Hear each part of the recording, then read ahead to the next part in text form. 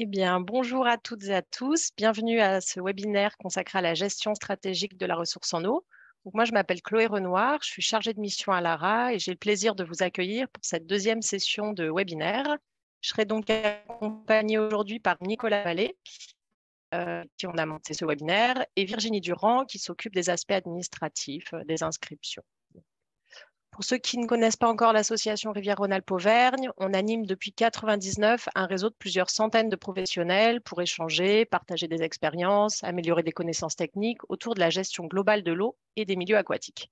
Donc ça se traduit par l'organisation de journées techniques, de formations, de sorties terrain, et aujourd'hui donc par ce webinaire qui est consacré à la gestion stratégique de la ressource en eau. Euh, on voit que vous êtes toujours très nombreuses et très nombreux à vous inscrire à nos événements et ça nous fait toujours autant plaisir. Euh, pour commencer, je vous rappelle quelques petites règles pour que cette session se déroule pour le mieux. Pour celles et ceux qui ne l'ont pas encore fait, on vous demande de vous renommer. Donc, dans l'onglet participant, vous faites clic droit sur votre nom. Donc, vous mettez votre nom, prénom et structure. Ça nous permet de, de voir qui est inscrit, qui n'est pas inscrit. Comme pour les autres événements de l'ARA, l'objectif, c'est de permettre d'échanger au maximum et donc de poser vos questions de faire part de vos retours d'expérience. On vous proposera donc des temps d'échange après chaque intervention, mais n'hésitez pas à lever la main au cours des interventions pour poser une question ou pour réagir. Et pour faciliter les échanges, on vous propose d'utiliser deux outils. vous avez le chat pour poser vos questions par écrit tout au long de l'intervention. Donc on notera ensemble, euh, enfin, on notera toutes vos questions pour en faire part aux intervenants pendant les temps d'échange. Et pendant les temps d'échange, vous avez l'outil Lever la main qui est situé en bas de votre écran dans l'outil Réaction et vous pouvez aussi cliquer sur Participant, puis sur la petite main bleue. Donc, si vous souhaitez, vous pourrez aussi poser vos questions en direct euh, en levant la main. Euh, c'est quand même plus vivant. Donc, mardi, on a débuté ces quatre sessions de webinaire avec une partie dédiée aux connaissances sur la ressource en eau et sur le fonctionnement hydrogéologique. Et aujourd'hui, on va parler de la gestion quantitative. Euh, vous voyez aussi apparaître sur l'écran les deux prochaines sessions qui auront lieu le 31 janvier sur la préservation des eaux souterraines le jeudi 2 février sur les stratégies d'économie d'eau. Euh, pendant cette deuxième session, quatre interventions vont se succéder, enfin quatre intervenants et trois interventions. Donc, on va commencer avec Eve Sivad et Thomas Villoin des agences de l'eau Rhône-Méditerranée-Corse et Loire-Bretagne, qui vont nous proposer une intervention introductive sur les outils de planification de la gestion quantitative. Cyril Girel de Grand Chambéry en Savoie présentera ensuite la stratégie globale de gestion quantitative sur son territoire. Et pour finir, Christelle Constantin-Bertin du syndicat Isérois Rivière-Rhône-Aval et qui anime aussi le SAGE Bièvre-Lière-Valoir en Isère, va nous parler de la gestion quantitative à travers l'articulation entre un schéma d'aménagement et de gestion de l'eau, donc un SAGE, et un plan de gestion de la ressource en eau, un PGRE. Merci à vous quatre d'avoir accepté d'intervenir euh, aujourd'hui. Et comme pour la session de mardi, je demanderai à nos intervenants d'expliquer au maximum les sigles pour qu'on essaie de perdre le moins de monde possible en route. Donc, s'il y a des personnes qui ont des cycles qui ne comprennent pas, n'hésitez pas à poser une question dans le chat, euh, comme ça, on pourra vous expliquer.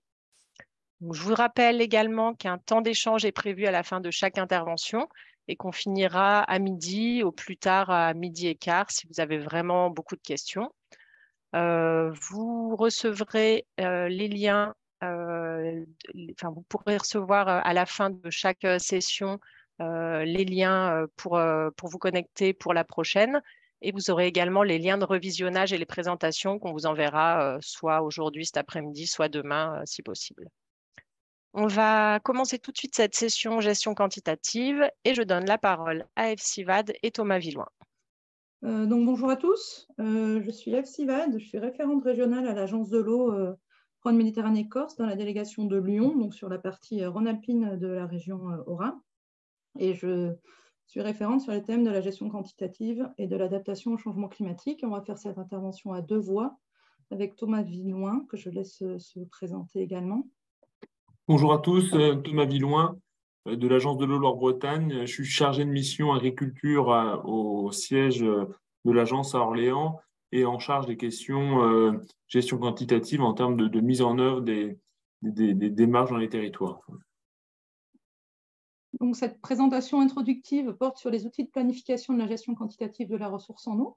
Donc, on commence avec trois jolis euh, acronymes, donc euh, SDAGE, SAGE et PTGE, donc les schémas directeurs d'aménagement et de gestion des eaux, qui se fait à l'échelle de nos bassins de grands fleuves. Les schémas d'aménagement et de gestion des eaux qui sont à l'échelle des bassins versants et les projets de territoire pour la gestion de l'eau qui sont des outils de mise en œuvre de partage de l'eau euh, qui se fait aussi à l'échelle des bassins versants euh, ou des nappes. donc, la planification dans le domaine de l'eau, vise un objectif commun qui est défini au niveau européen sous le terme de bon état des eaux. Donc, ça englobe une eau de qualité et en quantité suffisante pour les usages adaptés à la quantité d'eau disponible euh, à satisfaire et pour la vie des écosystèmes aquatiques. Donc, euh, quand on parle de bon état, pour les rivières, c'est le croisement entre un état euh, physico-chimique qui repose sur des paramètres classiques de température, de pH, d'oxygène disponible dans l'eau et de certains polluants spécifiques, et un état biologique qui, lui, a trait à vraiment des indices biologiques qu'on va mesurer dans le cours d'eau de présence ou absence d'espèces, de diversité. Voilà. Donc, c'est très, dépendant de la quantité d'eau qu'on va retrouver dans un cours d'eau. Et pour les nappes, ce bon état, c'est un croisement entre un état quantitatif qui euh, prend en compte le fait que la capacité de renouvellement de la ressource en lien avec le bon état des milieux superficiels, mais aussi simplement la capacité de renouvellement ne soit pas euh, érodée, et un état chimique qui est basé sur un certain nombre de substances qui sont mesurées euh, en termes de qualité de l'eau. Donc c'est bien euh, on voit donc que euh, le, critère quantitatif est très présent sur la définition de ce bon état des eaux.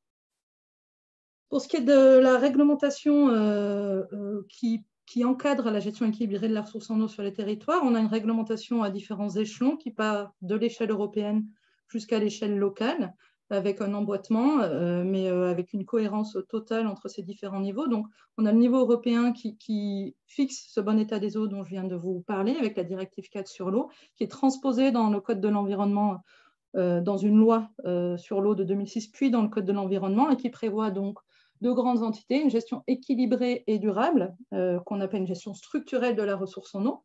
Donc, c'est s'assurer que dans la durée, on va garder des grands équilibres entre le développement des usages et les besoins des milieux aquatiques en termes de quantité d'eau, et une gestion des pénuries d'eau, qu'on appelle la gestion euh, conjoncturelle, avec notamment la gestion des sécheresses qu'on voit apparaître et des restrictions d'usage qu'on voit apparaître euh, euh, sur les périodes de basse eau. Et donc, ces différentes réglementations, elles prévoient de définir des objectifs et des indicateurs pour la gestion quantitative équilibrée de la ressource en eau, qui sont bah, des, valeurs de débit et de niveau de nappe hein, qui permettent d'atteindre le bon état écologique euh, et la satisfaction des usages adaptés à la disponibilité en eau et qui sont intégrés dans ces schémas d'aménagement et de gestion des eaux qui existent au niveau euh, de chacun des bassins des grands fleuves euh, français. Donc, on a la définition de débit d'objectif d'étiage, de débit et niveau de crise, et puis on a aussi des niveaux piésiométriques qui sont définis pour éviter de se retrouver dans des situations de tension de manière trop fréquente sur les territoires. Donc, les trois outils de la stratégie de gestion quantitative qui sont écrits à l'échelle des bassins Rhône-Méditerranée et Corse et Loire-Bretagne, on retrouve donc ce fameux DAGE, schéma d'aménagement et de gestion des eaux, qui euh, a été approuvé pour le dernier sur 2022-2027, donc au début de l'année 2022, et qui fixe les grandes orientations pour garantir la préservation des milieux aquatiques euh, et qui se décline ensuite dans un programme de mesures qui identifie les actions nécessaires à mettre en œuvre sur chacun des territoires pour s'assurer d'atteindre le bon état. On a ensuite le programme d'intervention des agences euh, qui est voté par un comité de bassin avec des représentants euh, d'usagers économiques et non économiques, d'élus et des représentants de l'État qui donne des priorités pour les interventions de l'agence de manière financière pour soutenir des projets qui contribuent euh, à, ce, bon état. On a aussi un autre outil qui est plus récent, qui est les plans d'adaptation au changement climatique, euh, qui engage les territoires et qui encourage les territoires à aller sur des actions pour agir plus vite et plus fort en lien avec des vulnérabilités qui sont identifiées au regard des, usages et de la qualité des milieux aquatiques aux effets du changement climatique euh, qui sont identifiés en termes d'évolution des climats euh, déjà connus et puis à venir. Donc, tous les bassins hydrographiques euh, disposent stratégie de ces trois grands outils et d'une stratégie d'adaptation au changement climatique. celle de Rhône-Méditerranée et Corse date de 2014 et en cours de révision cette année et va produire de nouvelles cartes, de nouvelles données de vulnérabilité, un programme d'action plus précis le dernier datant de 2014, depuis, il y a quand même eu beaucoup de données de produites et des, exercices de prospective plus fins qui ont été produits. Et sur Loire-Bretagne, de la même façon, le plan de bassin d'adaptation au changement climatique date de 2018 et est en cours de révision également. Donc, bah, à, l'intérieur de ces plans de bassin d'adaptation, bah, globalement, les enjeux ils sont partagés. Hein, les, cadres c'est deux cadres d'approche qui sont différents, mais pour atteindre les mêmes objectifs. Et on voit que le volet quantité, il est central dans ces, deux plans de bassin, donc avec un enjeu, effectivement, quantité proprement identifiée sur la Bretagne. Et sur RMC, la différence, c'est qu'aujourd'hui, on entre par des types de solutions avec retenir l'eau dans les sols, lutter contre le gaspillage de l'eau et redonner un espace de bon fonctionnement au milieu qui contribue dans tous les cas à cet objectif de gestion équilibrée des milieux aquatiques. Donc, dans ces plans, vous retrouvez euh, des grands types d'actions pour atteindre ces objectifs de gestion équilibrée de la ressource en eau, qui sont lutter contre les gaspillages, rendre les usages moins sensibles aux aléas, limiter l'assèchement des sols. Puis on retrouve des choses plus indirectes, mais qui jouent aussi euh, sur euh, la, gestion quantitative, qui sont bah, avoir des milieux aquatiques et humides fonctionnels qui résisteront mieux aux effets du changement climatique. Puis l'inondation, c'est moins dans nos axes prioritaires sur cette session-ci. Donc, qu'est-ce qu'elle dit, cette euh, stratégie en complément des, plans de bassin? Elle est totalement complémentaire. Hein. c'est ce qu'on retrouve dans le schéma d'aménagement et de gestion des eaux qui donne un, cadre et qui planifie le partage de l'eau par cycle de six ans. Et on retrouve dans le domaine de la gestion quantitative quatre grandes entrées qui sont organiser le partage de l'eau dans les secteurs en déséquilibre ou en équilibre précaire. Donc, on, retrouve euh, ces projets de territoire pour la gestion de l'eau qui sont l'outil qui est proposé euh, sur les secteurs en déséquilibre et sur les secteurs vulnérables au changement climatique pour pour euh, mettre en œuvre euh, le partage de l'eau. Donc, on vous présentera dans un second temps. Le second axe, c'est sur les territoires nécessitant des actions de préservation de l'équilibre quantitatif, mener euh, des, bilans besoins ressources, besoins des usages et, des milieux aquatiques et ressources disponibles, avec des études volume prélevable pour ce qui est de RMC, donc c'est sous ce sigle EVPG, et des études HMUC sur le bassin Loire-Bretagne qu'on vous présentera aussi euh, dans la suite. Et donc, on retrouve le triptyque, partage de l'eau, démultiplier les économies d'eau, recourir à des ressources de substitution quand c'est nécessaire et, euh, euh, anticiper les effets du changement climatique en intégrant une dimension prospective, que ce soit sur des scénarios socio-économiques ou sur des modélisations de ce que pourrait être la ressource en eau dans le futur, pour arbitrer sur des solutions techniques. Donc, dans, et puis, euh, il y a un axe aussi qui est qui, pour essayer de progresser euh, sur la compatibilité de l'aménagement du territoire et la disponibilité en eau, donc d'intégrer euh, des éléments en lien avec les, les SCOT et les pluies et le partage de l'eau pour qu'il y ait une cohérence entre ce qu'on peut identifier comme diagnostic sur l'état de la ressource en eau et le développement territorial qui est prévu sur les différents secteurs. Là, ce sont les différentes cartes qui montrent qu'on priorise notre action. Du coup, euh, concernant les enjeux de partage de l'eau sur Rhône, Méditerranée et Corse, la priorité euh, d'action est sur des territoires identifiés comme là en marron euh, en déséquilibre ou en équilibre précaire en jaune. Ce qu'on peut dire entre l'état des lieux qui avait été fait en 2013 et l'état des lieux qui a été fait en 2019, c'est qu'on a une pression de prélèvement qui est en augmentation sur le territoire rhône-alpin. On est passé de 60%, 70% des bassins versants en tension à 77%. Et pour ce qui est des nappes souterraines, on a eu un passage de 23% euh, des euh, nappes en tension à 25%. Donc, on a plutôt une tendance à, une augmentation de la pression et on a toujours euh, ces 29 territoires qui avaient été identifiés, qui sont tous ces territoires colorés en marron, comme en déséquilibre et donc qui ont un volume prélevé qui ne permet pas d'atteindre ce bon état pour les milieux aquatiques et une satisfaction durable des usages sans avoir recours à des, arrêtés de restriction d'usage qui sont confirmés comme euh, étant des équilibres. On n'a pas eu d'amélioration euh, en nombre. Et donc, je laisse à Thomas le soin de présenter euh, ce diagnostic sur leur Bretagne. Oui, donc sur leur Bretagne, le SDAGE vise les mêmes objectifs, hein, de gérer les prélèvements de manière équilibrée et durable. on a un chapitre 7A qui vise à anticiper les effets du changement climatique euh, notamment en permettant d'ajuster les objectifs du stage par les stages.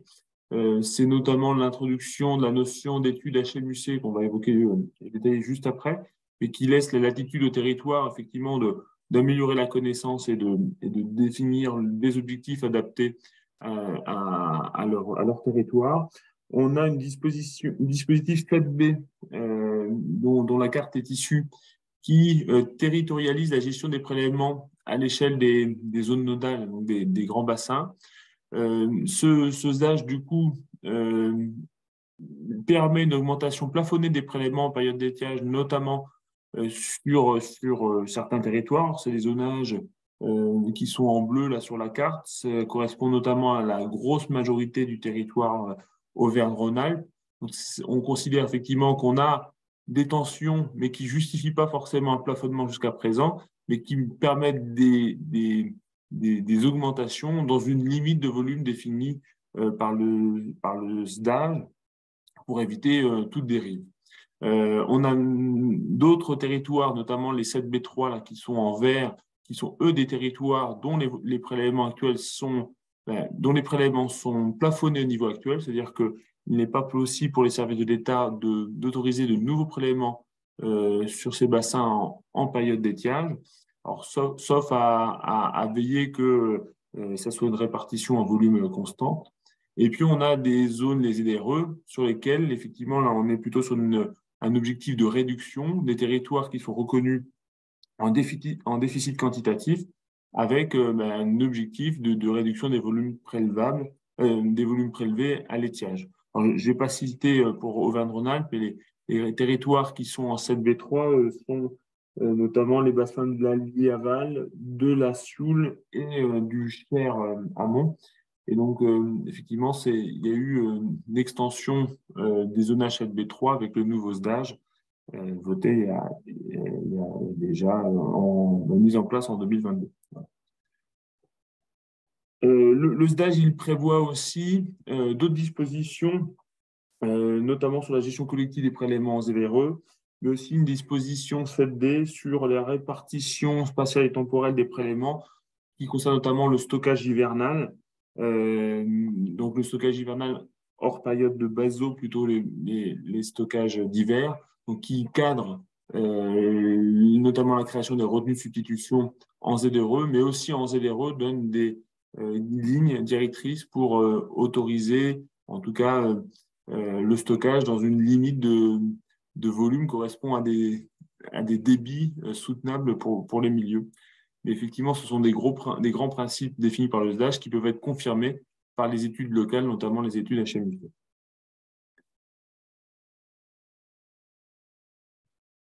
Et, et, donc cette carte, elle confirme aussi le besoin, la nécessité de d'affiner le niveau de connaissance à des échelles plus fines hein, que celles du SDAGE.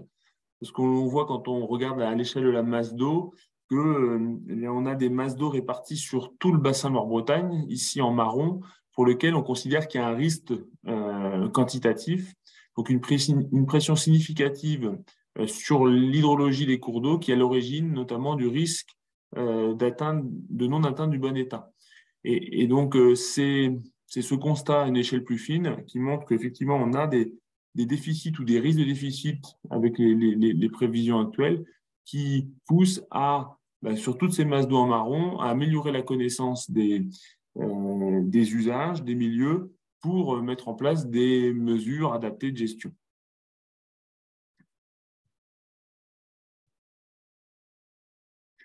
Dans les outils de gestion, on a effectivement le cadre des PTGE, Projet Territoire pour la gestion de l'eau.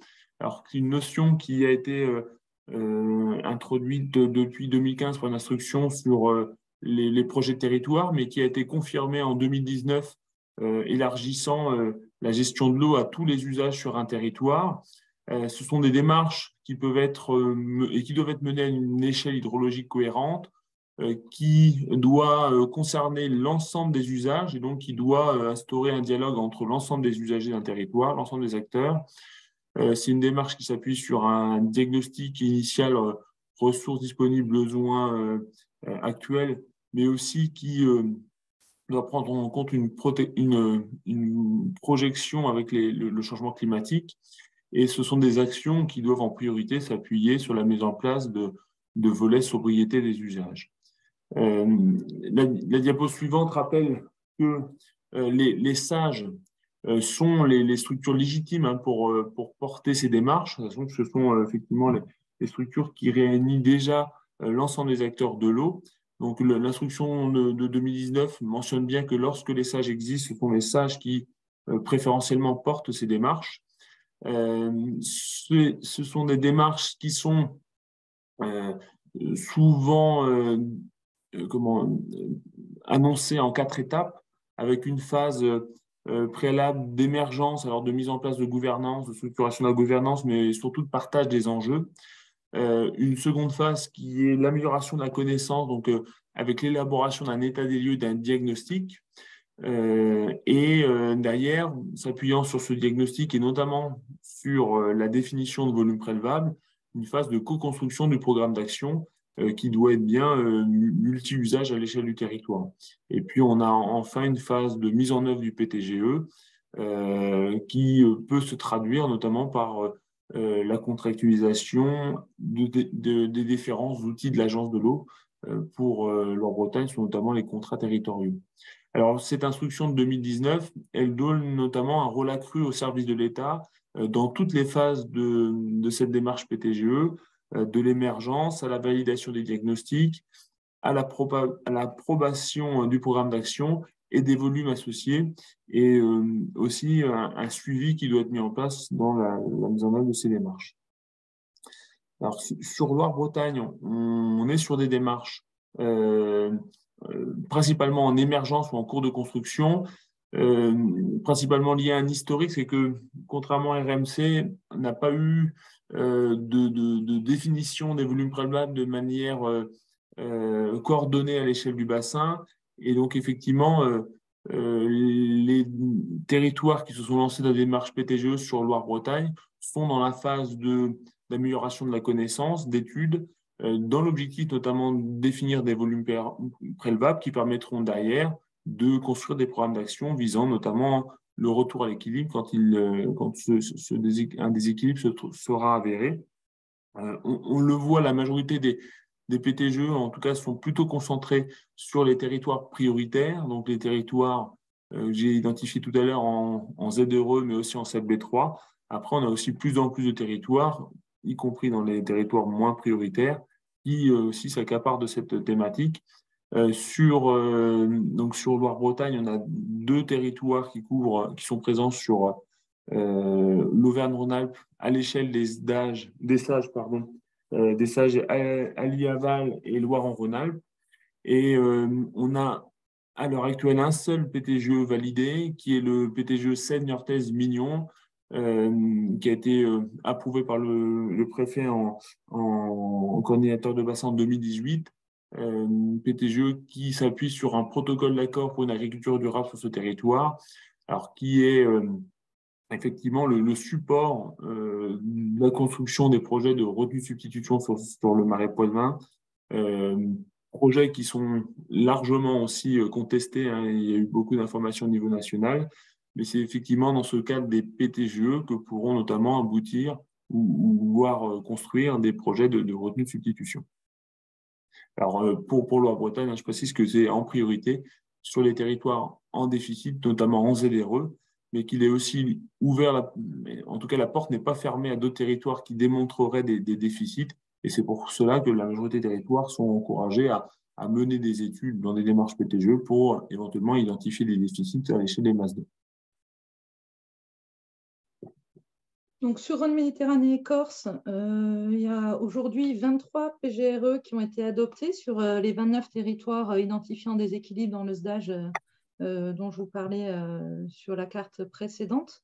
Donc, pour expliquer, nos PGRE sont des PTGE, c'est simplement que le premier sur RMC date de 2014, donc les différents textes réglementaires, instructions n'étaient pas encore élaborés ce qu'on peut dire, c'est que c'est une dénomination euh, particulière qui est liée à l'historique qu'on a sur Rhône Méditerranée et Corse de cet outil qui a été mis en œuvre dès 2014, euh, mais que nos PGRE sont des PTGE, notamment cette dénomination est liée aussi euh, à un objectif particulier qui est qu'ils ne sont que sur des territoires en déséquilibre, les PGRE, donc avec une finalité de rétablir cet équilibre quantitatif. À terme, tous les PGRE se dénommeront probablement PTGE, mais aujourd'hui, on a aussi des PTGE qui s'engagent sur des territoires qui ne sont pas identifiés dans le ZAGE comme étant en déséquilibre quantitatif, mais qui subissent une vulnérabilité, qui connaissent une vulnérabilité particulière liée aux effets du changement climatique.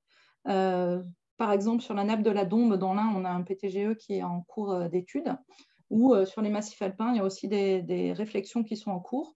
Et euh, une différence aussi par rapport à l'Or Bretagne, c'est que les porteurs de PGRE ne sont pas forcément des porteurs de sages parce qu'on n'a que six sages euh, en place sur les 29 territoires qui sont identifiés comme devant faire l'objet de la mise en place d'un PGRE. donc, il y a aussi des structures de gestion qui portent des sages en dehors de des, PGRE, en dehors des démarches sages. Alors, la, démarche PTGE, elle est initiée, euh, du coup, ou en tout cas euh, cadrée depuis 2019. Euh, un des travaux post-Varenne agricole de l'eau et du changement climatique, dont les conclusions ont été données en 2022, était l'élaboration d'un guide national pour accompagner les, les, territoires dans cette mise en place des démarches PTGE. Euh, donc, il y a un guide qui devrait prochainement être diffusé, qui, était, qui a été en cours de, de, construction, là, avec notamment l'appui du bureau d'études Actéon euh, sur la, durée de l'année 2022. Euh, c'est un guide qui reprend globalement les principes de l'instruction de 2019 et qui appuie, qui s'appuie sur des retours d'expérience sur l'ensemble du, territoire national. Alors, on a des retours d'expérience sur leur Bretagne euh, aux différentes phases, alors notamment euh, sur la partie Pays de la Loire, on a eu euh, des feuilles de route initiales définies qui cadraient les enjeux et qui permettaient de, de mettre les territoires d'accord, les acteurs d'accord sur les, les, enjeux, les objectifs des, démarches PTGE. On a des territoires aussi en Pays de la Loire comme Loudon qui ont bah, remis en place une démarche de euh, mise à jour des données prélèvements agricoles, notamment s'appuyant sur une enquête en ligne. Euh, il y a eu aussi des recensements de, euh, des inventaires de plans d'eau, sachant qu'il y, a des territoires effectivement dont, l'impact de ces plans d'eau n'est pas négligeable sur la, sur la ressource en eau. Donc, c'était la, construction de ces, ces, inventaires. et puis, du coup, dans, les programmes d'action sont illustrés l'Observatoire des essaiements sur, la sur le territoire Seine-Nord-Est-Mignon pour suivre euh, les objectifs, mais aussi euh, le, protocole d'accord qui euh, engage les agriculteurs dans des changements de pratiques, que ce soit individuel, mais aussi à l'échelle collective sur le territoire. On a également des, retours d'expérience sur les territoires Rhône-Méditerranée-Corse.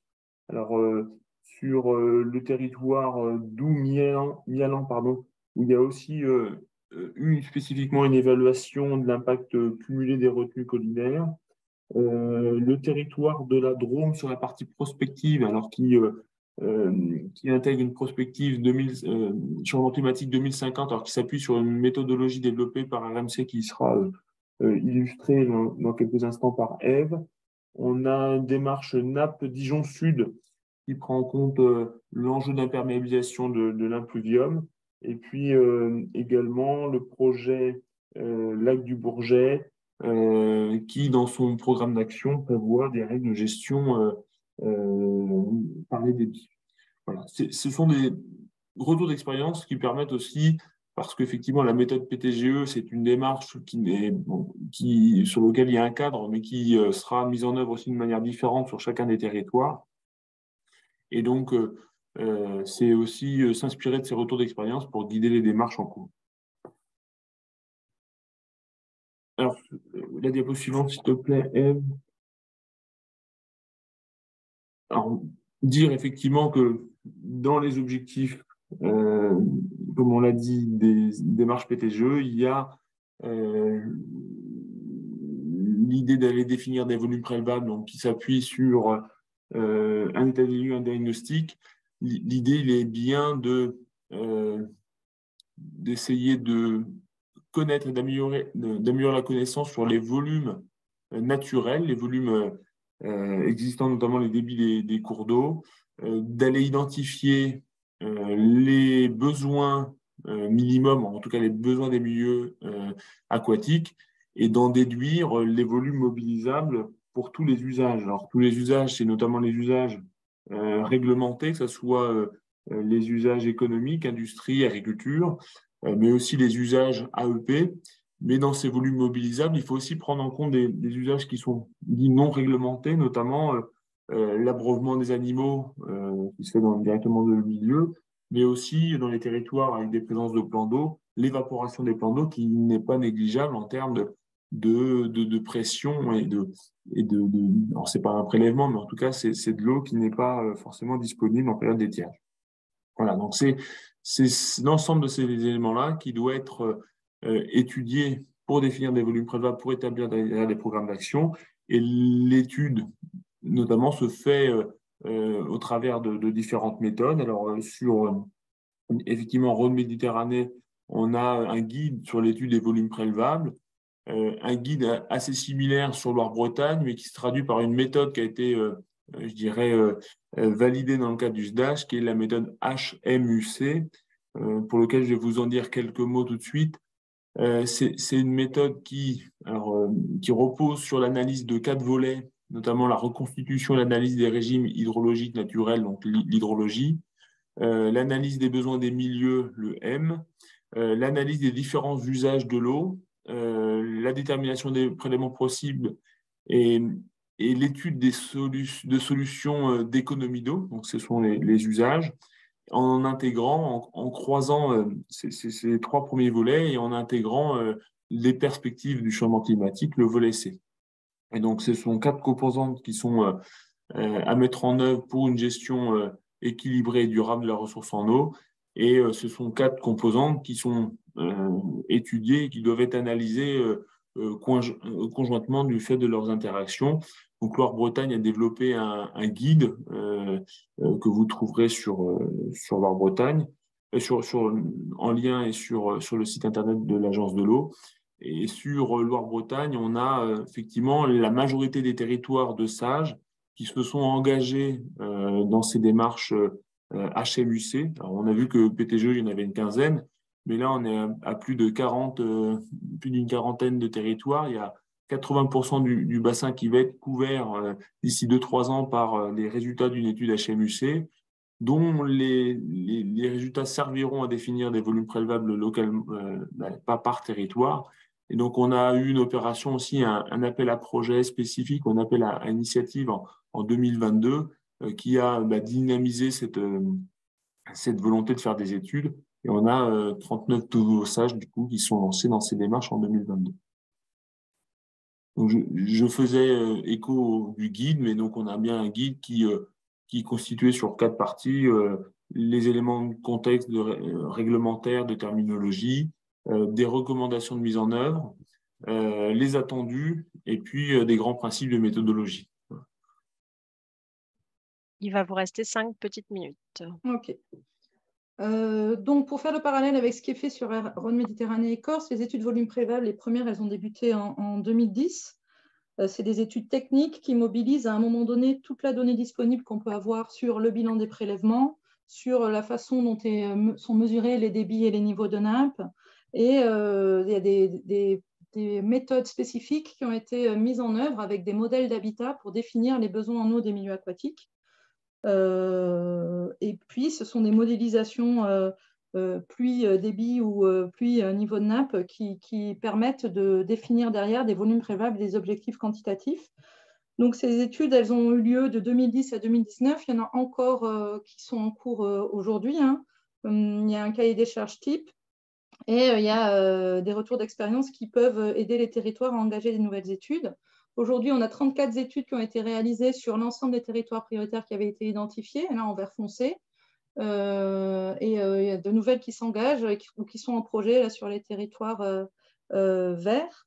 ce qu'on peut dire, c'est que depuis 2010, on a eu une montée en puissance des enjeux de gestion quantitative avec une nécessaire intégration du changement climatique. Il y avait déjà une projection vers le futur pour ce qui est des usages euh, et de la ressource qui pouvait être fait dans les études euh, volume prélevable, mais ce n'est probablement pas euh, suffisant. Donc aujourd'hui, ces études qui ont abouti sur des PGRE et qui font des bilans réguliers tous les 6 ans, tous les 5-6 ans, ben, on réinterroge au regard de toutes les données qui ont été produites sur la période de 5 ou 6 ans, pour voir si bah, les actions sont d'ambition suffisante et si on a un bilan besoin ressources qui a évolué ou pas. Et puis, on réalise aussi des études prospectives climat pour l'adaptation dans le domaine de l'eau, qui sont renforcées depuis 2019 et qui permettent sur certains territoires de dresser la vulnérabilité plus précise au changement climatique et surtout de construire une réponse territoriale du territoire sur l'ensemble des enjeux et pas que sur la gestion quantitative, mais bien aussi sur euh, tous les enjeux euh, dans le domaine de l'eau pour euh, faire des choix techniques de territoire sur des, des scénarios socio-économiques pour maintenir ou reconquérir dans la durée ce bon état écologique. Aujourd'hui, on a sept démarches sur euh, la partie Rhône-Alpine de Aura qui sont en cours. Beaucoup dans le cadre des sages parce que c'est très adapté, mais aussi des départements euh, qui se posent des questions euh, et qui, vont développer des, réflexions adaptation au changement climatique dans le domaine de l'eau. Alors, ces, démarches PTGE, donc l'objectif, notamment d'aboutir à la définition de programmes d'action permettant euh, d'atteindre euh, des volumes prélevables qui auront été définis. Euh, ces programmes d'action et la construction des programmes d'action, a une vigilance à ce qu'ils intègrent bien l'ensemble des, des, outils, l'ensemble des paniers de solutions. Là, vous avez sous les yeux un schéma qui est le schéma de la stratégie gestion des prélèvements en eau du 11e programme de l'Agence de l'eau Loire-Bretagne, qui, qui sera peut-être expliqué un peu plus sur la, la session 4 sur les, les, les écodos. Mais, voilà, vous, dire qu'on a bien une combinaison euh, d'outils nécessaires dans ces programmes d'action, euh, notamment sur les actions qui sont préalables à tout autre, hein, qui est bien la, meilleure fonctionnalité des milieux aquatiques euh, par euh, des actions euh, fondées sur, solutions fondées sur la nature. bien sûr aussi une priorité à la sobriété des usages aux économies d'eau, mais ne sont pas exclus notamment les outils de retour à l'équilibre, ouvrages structurants, notamment comme les, les retenues de substitution ou les ouvrages euh, de, transfert en eau. Voilà. Euh, sur l'Or Bretagne, on a effectivement un programme d'intervention défini sur six ans, alors qui, qui, représente un budget à peu près de, de 2 milliards d'euros sur six ans. Euh, on a, euh, en termes de, de, de, en tout cas d'objectifs ou de d'actions on a 10% qui sont uniquement consacrés à la gestion quantitative de la, de la ressource en eau et aux économies d'eau. Et quand on regarde un peu plus largement euh, toutes les actions qui contribuent à l'adaptation euh, du changement climatique, on est à près de 45% des programmes d'action qui contribuent à cet objectif-là sur, sur le bassin Nord-Bretagne pour 2022. Voilà. pour finir, sur euh, Rhône Méditerranée Corse, c'est la même chose. On a un, un programme d'intervention qui sera présenté plus dans le détail en session 4 sur les économies d'eau, qui représente 15% du budget total de l'agence de l'eau à peu près euh, euh, investi sur le partage de l'eau et les économies d'eau. Et on lance aussi des appels à projets réguliers. Il y en a notamment un en cours, dont je profite d'en parler ici, qui, euh, vise eau et climat à agir plus vite, plus fort sur les territoires et dans lequel on va retrouver un volet gestion quantitative assez important. Donc, je vous invite à aller le consulter sur notre site internet. Voilà. Et puis, euh, donc, euh, ces programmes d'aide vous seront détaillés vous seront présentés plus en détail dans la session 4 du 2 février. Merci de votre attention. Merci beaucoup à tous les deux. Euh, on a quelques questions. Hélène, est-ce que tu es d'accord de poser ta question en direct? Est-ce que tu nous entends? Alors, la question d'Hélène, elle voulait savoir si des bassins versants avaient été dé classés entre les EDL de 2013 et de, de 2019 suite aux études volume prélevables. Et elle complète, elle parle des cas des petits bassins versants où la connaissance était très mauvaise et qui avaient été classés essentiellement car subissant des assecs naturels sans pression quantitative importante. Elle est sur quel territoire, euh, la personne qui pose la question? Alors, euh, Hélène Luxizine et ma conseil, donc c'est en Savoie. C'est un bureau d'études. Ok, donc euh, effectivement, dans l'état des lieux 2019, euh, ont été intégrés les résultats des études volume préla qui a été produit dans l'entretemps. Et euh, on a, c'est ce que je présentais sur une des cartes, sept nouveaux bassins versants qui ont été, pour ce qui est des eaux superficielles, intégrés en plus par rapport à l'état des lieux de 2013. Mais les résultats des études volume prévables sont intégrés dans l'état des lieux. Merci il y avait une autre question concernant l'instruction complémentaire. Donc, je suppose que c'est pour euh, les PTGE. À quelle échéance est prévue cette instruction complémentaire? Alors, euh, au, niveau national, c'est dans les tuyaux. Hein, elle est annoncée très, très rapidement. C'était pareil, annoncé post-Varenne. Alors, elle, elle, va pas, pas révolutionner hein, les démarches PTGE. Les deux grands, les deux grands objectifs de cette, de cette instruction complémentaire, c'est de confirmer euh, bah, les rôles et l'implication des services de l'État dans les démarches, euh, et, notamment de donner euh, bah, la possibilité aux services d'État de reprendre la main quand les démarches n'aboutissent pas dans les territoires. malgré tout, elle, confirmera aussi le besoin de prendre le temps de construction de, des études, en tout cas de comme, comme, le fait le guide, hein, confirme qu'il y a quand même des délais incompressible d'études euh, lorsque les territoires euh, n'ont pas déjà mené ces, analyses. Euh, donc, voilà, il y, avait une volonté initiale d'accélérer un peu les démarches, mais il y a quand même une, une reconnaissance du fait que c'est des démarches qui doivent se construire dans le temps. voilà, mais, c'était les, deux principaux objectifs. Un, dernier point qui est aussi euh, l'importance des analyses économiques et financières qu'on n'a pas forcément évoqué, mais il y a un guide national INRAE que vous trouverez sur Internet qui cadre euh, ben, ce type d'études euh, pour les projets à dominante agricole dans les cadres des PTGE. Et, l'instruction rappellera en tout cas l'importance d'un scénario zéro qui est comment, une estimation euh, de la viabilité ou d'évolution économique d'un territoire si on supprime purement euh, l'irrigation pour, ou en tout cas les usages, pour atteindre euh, les volumes prélevables qui seront, qui seront définis? Très bien, merci.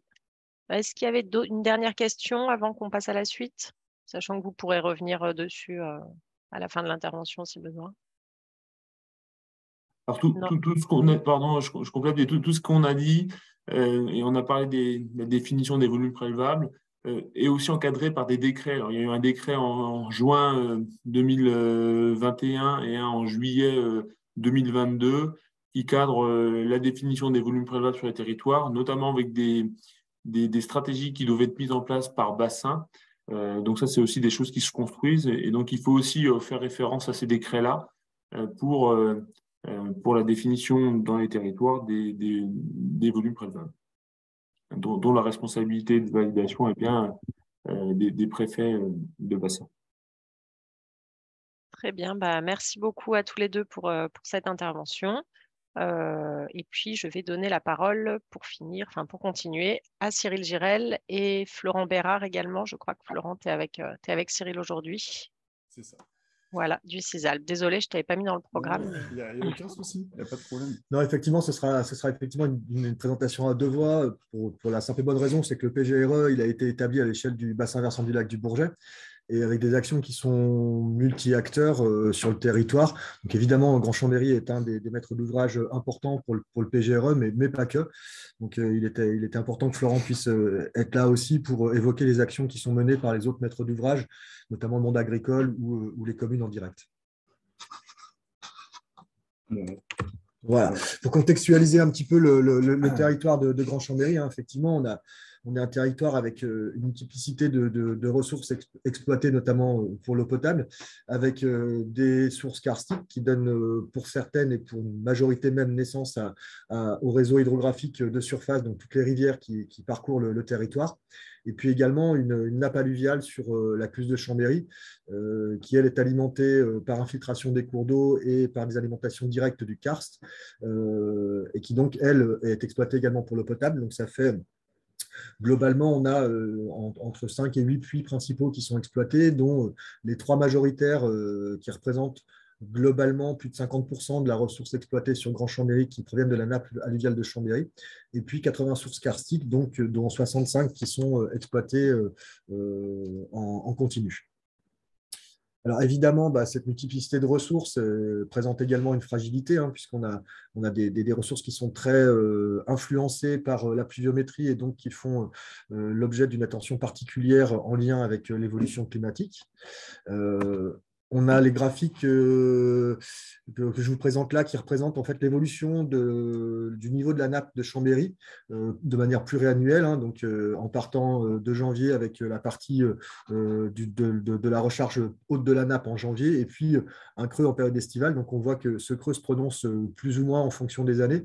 la courbe noire, c'est l'été 2022 on a atteint des niveaux bas euh, historiques sur, cette période-là, euh, avant euh, la reprise hydrologique et puis une, recharge assez conséquente, puisqu'on arrive en fin d'année avec une recharge quasiment normale de la nappe. Et donc, effectivement, avec une influence de, de l'étiage de cet été qui a été très important.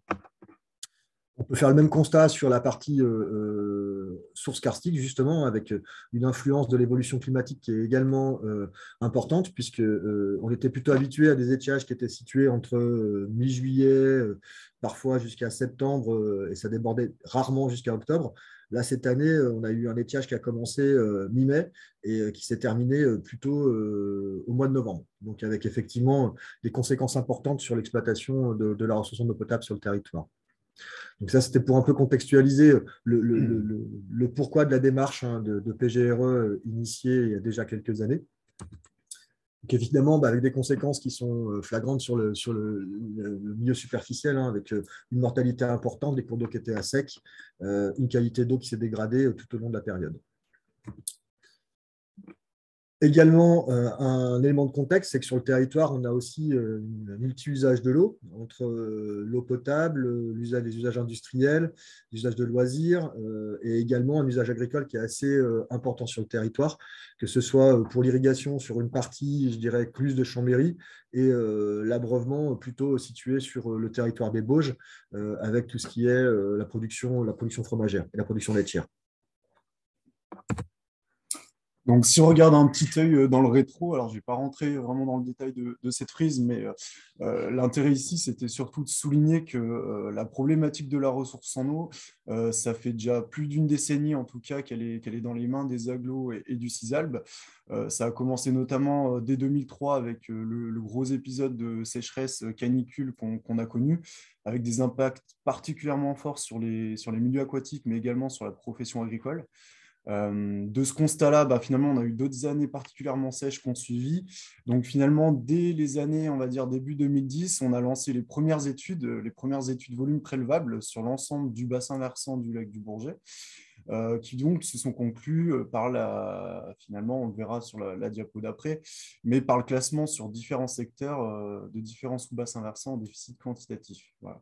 donc en 2013, voilà, on a eu un arrêté de préfet actant les résultats de l'EVP. on a eu une dizaine de communes qui ont été classées en zone de répartition des eaux en 2014-2015.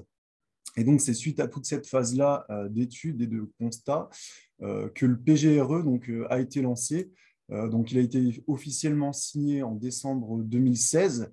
Euh, bon, bien entendu, on n'avait pas attendu hein, la fin des EVP et la signature de, ce PGRE, en tout cas pour démarrer les actions euh, avec l'ensemble des, acteurs et des usagers concernés. Et donc, voilà, donc le PGRE, nous, il est officiellement donc, en action sur la période 2017-2022, donc il vient de se terminer. On est en train de faire le bilan euh, de ce PGRE, avec euh, du coup, euh, bah, on, y viendra, mais la rédaction, en tout cas la, co-construction d'un futur PTGE pour les années, à venir. Donc, en matière de constat, justement, hein, je pense qu'on a fait le, schéma type des EVP. Hein. on a fait un bilan entre la ressource en eau disponible, qui se croise d'un côté avec les besoins en eau des usagers et les besoins des milieux aquatiques. Euh, donc, il y avait un gros travail qui avait été fait euh, en interne. Hein. Ce sont, euh, là, pour le coup, les EVP avaient été réalisés par le CISALB, aux côtés du coup des, représentants de chacun, chacune des catégories d'usagers. Donc, voilà, donc on a eu des secteurs en déficit quantitatif, en équilibre précaire et en équilibre. Hein. Donc là, vous avez un petit plan vu de dessus hein, du, du, bassin versant du lac du Bourget, avec nos fameux sous-bassins versants en déficit quantitatif. Euh, alors, vous verrez sur certains, il y a des petites flèches rouges hein, qui nous montrent quand même que euh, bon, bah, le constat qu'on a pu faire dans les années 2010-2013, bah, on a bien vu hein, ces dernières années l'évolution climatique. On a enchaîné énormément d'épisodes de, sécheresse de plus en plus forts, euh, avec donc des impacts sur les ressources. Hein, Cyril le, disait juste avant. donc voilà, c'est une photo, mais qui n'est clairement pas figée dans le temps, ça c'est sûr. Voilà, donc des impacts sur la ressource en eau et donc ces EVP, comme je vous disais tout à l'heure, donc ont débouché sur un plan de gestion de la ressource en eau valant PTGE, dans lequel évidemment vous pouvez reconnaître, je pense, certains logos de, de, cette, diapo, mais voilà, donc on a tous les représentants hein, du, monde de, l'eau potable, donc les agglos, Grand Lac, Grand Chambéry essentiellement, nos financeurs, l'agence de l'eau, euh, la DDT, l'OFB, avec qui euh, la DDT, on a un, très bon lien en tout cas sur, euh, sur l'ensemble des projets, la Chambre d'agriculture, le département, l'ARS, et puis la partie milieu aquatique, la Fédération de pêche de Savoie, et puis France Nature Environnement notamment. Voilà, donc ça, c'est les partenaires en tout cas qui nous ont accompagnés tout le long de ce PGRE. Euh, sur le futur, euh, on va certainement ouvrir la porte à d'autres représentants euh, d'autres catégories d'usagers. Donc effectivement, on arrive maintenant, bah, donc, le, le, PGRA a défini des orientations, je dirais, et puis chaque, maître d'ouvrage a travaillé à, établir les actions correspondantes à ces orientations. Euh, avec, un, même objectif, hein, qui était de, réduire la pression euh, euh, de prélèvement, ou du moins la pression exercée sur les milieux superficiels, pour un retour à l'équilibre, ou du moins à une situation qui soit la plus proche de, la situation naturelle. Parce qu'un retour à l'équilibre sur certains secteurs, comme l'a présenté Florent, les secteurs qui étaient en déséquilibre rouge, euh, on sait que c'est des secteurs où on a des, équilibres qui sont euh, structurels euh, et, pour lesquels le, retour à l'équilibre n'est pas l'objectif visé, mais plutôt un, retour à un fonctionnement naturel des milieux superficiels. Alors, la première action, c'est que déjà, c'est de protéger l'existant c'est de s'assurer que les ressources qui sont présentes sur le territoire puissent bénéficier d'une protection suffisante, tant d'un point de vue quantitatif que qualitatif. Donc, il y a eu plusieurs euh, actions menées, euh, notamment en lien avec euh, les documents d'urbanisme, hein, avec l'inscription dans les documents d'urbanisme des périmètres de protection. Ça, c'était déjà le cas, mais ça a été un peu renforcé. On travaille également à une mise à jour de ces périmètres de protection, puisque certains datent déjà de plus de 20 ou 30 ans et les connaissances hydrogéologiques qu'on peut avoir à l'heure actuelle ne sont, plus les mêmes. Donc, ça permet de réactualiser ces périmètres. Mais le plus gros travail a été mené plutôt sur euh, la zone de sauvegarde exploitée de la nappe de Chambéry.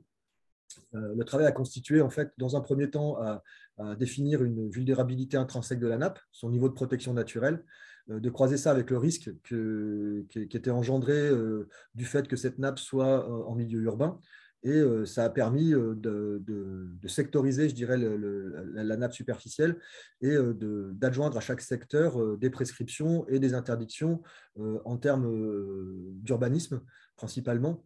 Et donc ça, ça a été annexé, ça, fait partie de l'annexe au potable du PDI HD de, Grand Chambéry, et c'est donc opposable, hein, et, mmh. elle, est, elle, est, mise en application depuis, je dirais, globalement deux ans, avec des évolutions, mais tout ça sera présenté justement lors, du prochain webinaire euh, de la semaine prochaine. Donc ça, ça a été un premier temps, c'est déjà de pouvoir euh, protéger l'existant et s'assurer que, cette ressource reste euh, en, qualité et en quantité suffisante. Le deuxième axe majeur, je dirais, de la politique de Grand Chambéry, c'est bah, d'économiser. Et la première chose, c'est de lutter contre les fuites. Euh, on a effectivement des territoires qui sont assez disparates sur Grand Chambéry, entre l'Acluse, de, qui est effectivement un territoire urbain et euh, pour lequel les rendements ne sont pas trop mauvais, et un territoire beaucoup plus rural, euh, le territoire des Bauges, sur lequel on a une, hétérogénéité de rendement et des rendements qui peuvent varier de, on pourrait qualifier de mauvais à moyen. Et tout ça nous donne un, rendement moyen qui est de 71,4%, donc ça reste qu'un chiffre, mais en tout cas, ça, permet d'identifier qu'il y a quand même une marge de progression. Euh, l'effort a été mené ces dernières années sur la lutte contre les fuites avec euh, une sectorisation importante du, réseau de distribution de Grand Chambéry, euh, une volonté de s'orienter vers un diagnostic permanent de ces fuites. Et ça a, abouti à ce qu'en 2021, par exemple, 299 fuites ont été euh, euh, réparées, et ce qui a permis d'économiser euh, à peu près 226 000 m3 sur, sur l'année. Les chiffres qui sont en rouge, c'est plus pour appuyer le fait que non seulement on a, une action, je dirais, qui est pluriannuelle, qui est établie, qui est faite sur l'année, mais euh, certains épisodes, comme celui qu'on a vécu cet, été, nous, ont, nous obligent en tout cas à euh, accélérer parfois l'action et de l'orienter plus sur des secteurs euh, en, tension, ce qui a été le cas hein, sur le territoire des Bauges cet été, puisque là, pour le coup, en l'espace de, deux mois, on a eu un travail conséquent qui a été fait sur, sur la maîtrise des fuites. Donc en matière d'économie d'eau, euh, il y a aussi euh, d'autres sujets hein, qui, ont été travaillés, euh, notamment l'usage récréatif. je vous prends l'exemple de la commune de Cognin, donc, qui est classée en zone de répartition des eaux et qui était sur un bassin versant donc en déficit quantitatif. En quelques mots, il y avait un plan d'eau en fait qui faisait un volume de 900 mètres cubes, qui était rempli et vidangé chaque semaine. Donc le pompage se faisait dans la nappe d'accompagnement du cours d'eau qui était juste à côté. Euh, donc il y avait une grosse problématique quantitative au niveau du prélèvement, euh, avec une interdiction en période de sécheresse par l'arrêté préfectoral qui interdisait donc le re-remplissage de, ce plan d'eau. Et puis euh, on avait aussi un rejet du coup de ces bassins chlorés dans le cours d'eau. Donc on avait une double problématique quantitative et qualitative.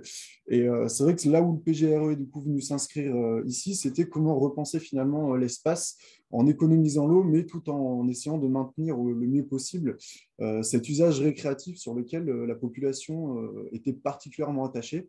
Il y a eu des réunions publiques.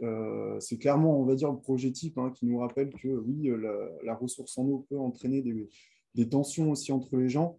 par l'attachement qu'il y avait à ce plan d'eau, il y a eu des réunions de concertation un grand public qui était particulièrement animé, on va dire. Mais voilà, donc in fine, ça a quand même débouché en tout cas sur, euh, sur euh, un espace qui a été totalement repensé, mais en gardant toujours quand même la thématique de l'eau. Donc le bassin a été transformé en fait euh, en une petite rivière en béton, hein, vous pouvez voir juste en dessous, des jeux d'eau pour les enfants. Cette eau est récupérée par la suite donc, dans une roselière, donc là vous voyez la photo, mais ça a bien poussé hein, depuis, je vous rassure. Et l'eau de la roselière ensuite est connectée au jardin familiaux qui est juste à côté. Donc finalement, on a une jolie boucle de l'eau qui permet de satisfaire différents usages, euh, paysagers, euh, récréatifs et puis euh, d'arrosage pour les jardins partagés, voilà, avec une économie d'eau de 9500 m3 par année qui était, clairement non négligeable. Mais voilà, en tout cas, ce projet nous illustrait vraiment la nécessité de pouvoir concerter et de discuter, de sensibiliser vraiment en amont la population à ces, à ces problématiques de ressources en eau qui se posent. en matière d'économie d'eau, bah, là aussi, on travaille beaucoup avec la filière agricole. Donc nous, on accompagne les exploitants agricoles, hein, quels qu'ils soient, euh, dans la mise en place du coup de, systèmes euh, d'économie d'eau. Donc euh, on, les accompagne pour le montage des dossiers de demande de subvention notamment. donc tout ce qui est goutte à goutte, micro-aspersion, pilotage automatique de l'irrigation, lutte contre les fuites, etc. etc. donc là, nous, CISAL, on, accompagne effectivement les exploitants, hein, maraîchage, arboriculture essentiellement, nous sur notre territoire, et puis des pépinières, des horticulteurs également. Donc voilà, l'agriculture, on commence déjà effectivement par économiser l'eau et quand la ressource en eau utilisée ben, n'est pas suffisante, euh, ben là on va rentrer plutôt au cas par cas vu quelles ressources euh, on peut utiliser par rapport à l'exploitant. L'objectif étant nous quand même de sortir euh, les pompes des cours d'eau euh, parce que voilà, on, est, sur un territoire où on a des petits cours d'eau avec des faibles débilités, donc le moins de petits pompages en fait va être extrêmement impactant vis-à-vis des milieux aquatiques. Et de toute façon, l'évolution euh, climatique fait que de toute façon, il n'y a pas assez d'eau non plus pour, euh, pour les exploitants agricoles. En tout cas, en, période estivale. Donc, ce qui peut se faire également, c'est du coup du stockage d'eau de pluie, hein, comme on peut le voir sur certaines de ces photos. Donc, c'est des petits stockages, donc en haut à droite et en bas à gauche gauche euh, pour des horticulteurs et des maraîchers. Euh, donc, c'est du stockage d'eau de pluie, en fait, des toitures des serres, des bâtiments. Et euh, en haut à gauche, vous avez la retenue collinaire de la Villette. donc là, on vient intercepter donc, un impluvium et un fossé d'eau pluviale hein, qui draine finalement les, les eaux de pluie de l'autoroute qui est en amont. On, peut, aussi penser à des, citernes souples hein, de stockage en bas à droite. Donc là, c'est plutôt de la substitution temporelle. Hein. donc c'est la ressource de l'exploitant qu'on va plutôt stocker euh, en hiver parce que l'été, il n'a a plus assez d'eau dans, sa source. Donc voilà, on peut multiplier les stockages. Euh, maintenant, évidemment, ça reste quelque chose qui est au cas par cas. On regarde bien de quelles ressources on parle à l'origine, de quel type d'agriculture euh, aussi on, parle. L'objectif, c'est toujours de stopper les prélèvements dans les cours d'eau ou sur les réseaux d'eau potable qui sont eux-mêmes alimentés par des ressources déficitaires. Voilà. Donc, première entrée, économie d'eau. Deuxième entrée, on voit comment on peut euh, effectivement changer de, ressources. Un autre axe important du PGRE, hein, c'était la réinfiltration. Euh, donc, ça a été appuyé également par euh, l'annexe au, du, du parce que les deux démarches ont été menées en même temps. Donc, ça a permis d'intégrer les réflexions du PGRE directement euh, dans, les, dans les annexes multiples du, du, PLUI. Et donc, avec cette annexe qui impose la gestion à la parcelle des eaux pluviales, en tout cas des, des pluies faibles à modérées, ça a incité fortement à la désimperméabilisation des sols et de passer d'une situation avec un sol imperméabilisé des villes qui qui présentait des, taux d'infiltration très faibles à, euh, euh, en tout cas, une dynamique qui tend vers euh, une désimperméabilisation importante de certains sites de l'agglomération, notamment tout ce qui est parking, ce qui va être également infrastructure de la collectivité, mais également il y a une action forte qui est menée auprès des industriels pour désimperméabiliser, les sites en fait. Et euh, dans ces réflexions-là, bien évidemment, comme on l'a vu tout à l'heure, hein, puisqu'on est dans une zone de ZSE, il y a quand même des prescriptions qui sont euh, adossées euh, à, l'infiltration. Pour autant, ça n'interdit pas l'infiltration, ça demande juste d'avoir une réflexion un peu plus poussée sur les modalités d'infiltration et, de privilégier bien évidemment l'infiltration de surface pour pouvoir bénéficier du pouvoir filtrant et dépolluant des sols globalement, ce que ça a donné, c'est qu'on a à peu près euh, euh, une dizaine de projets qui ont été déposés dans le cadre de l'appel à projet euh, Un coin de verdure pour la pluie. ça, c'était donc les, des imperméabilisations des cours d'école. On a également pas mal de projets qui sortent sur tout ce qui est réaménagement de quartiers, donc avec des écoquartiers qui se créent sur des surfaces imperméabilisées existantes, des friches industrielles notamment pour un des, des principaux projets, avec de la désimperméabilisation. Et puis, évidemment, également, donc, comme je disais, des entreprises et des industries qui sont lancées dans euh, la gestion, euh, entre guillemets, alternative, mais qui ne devrait plus être alternative maintenant, en tout cas des eaux pluviales des sites.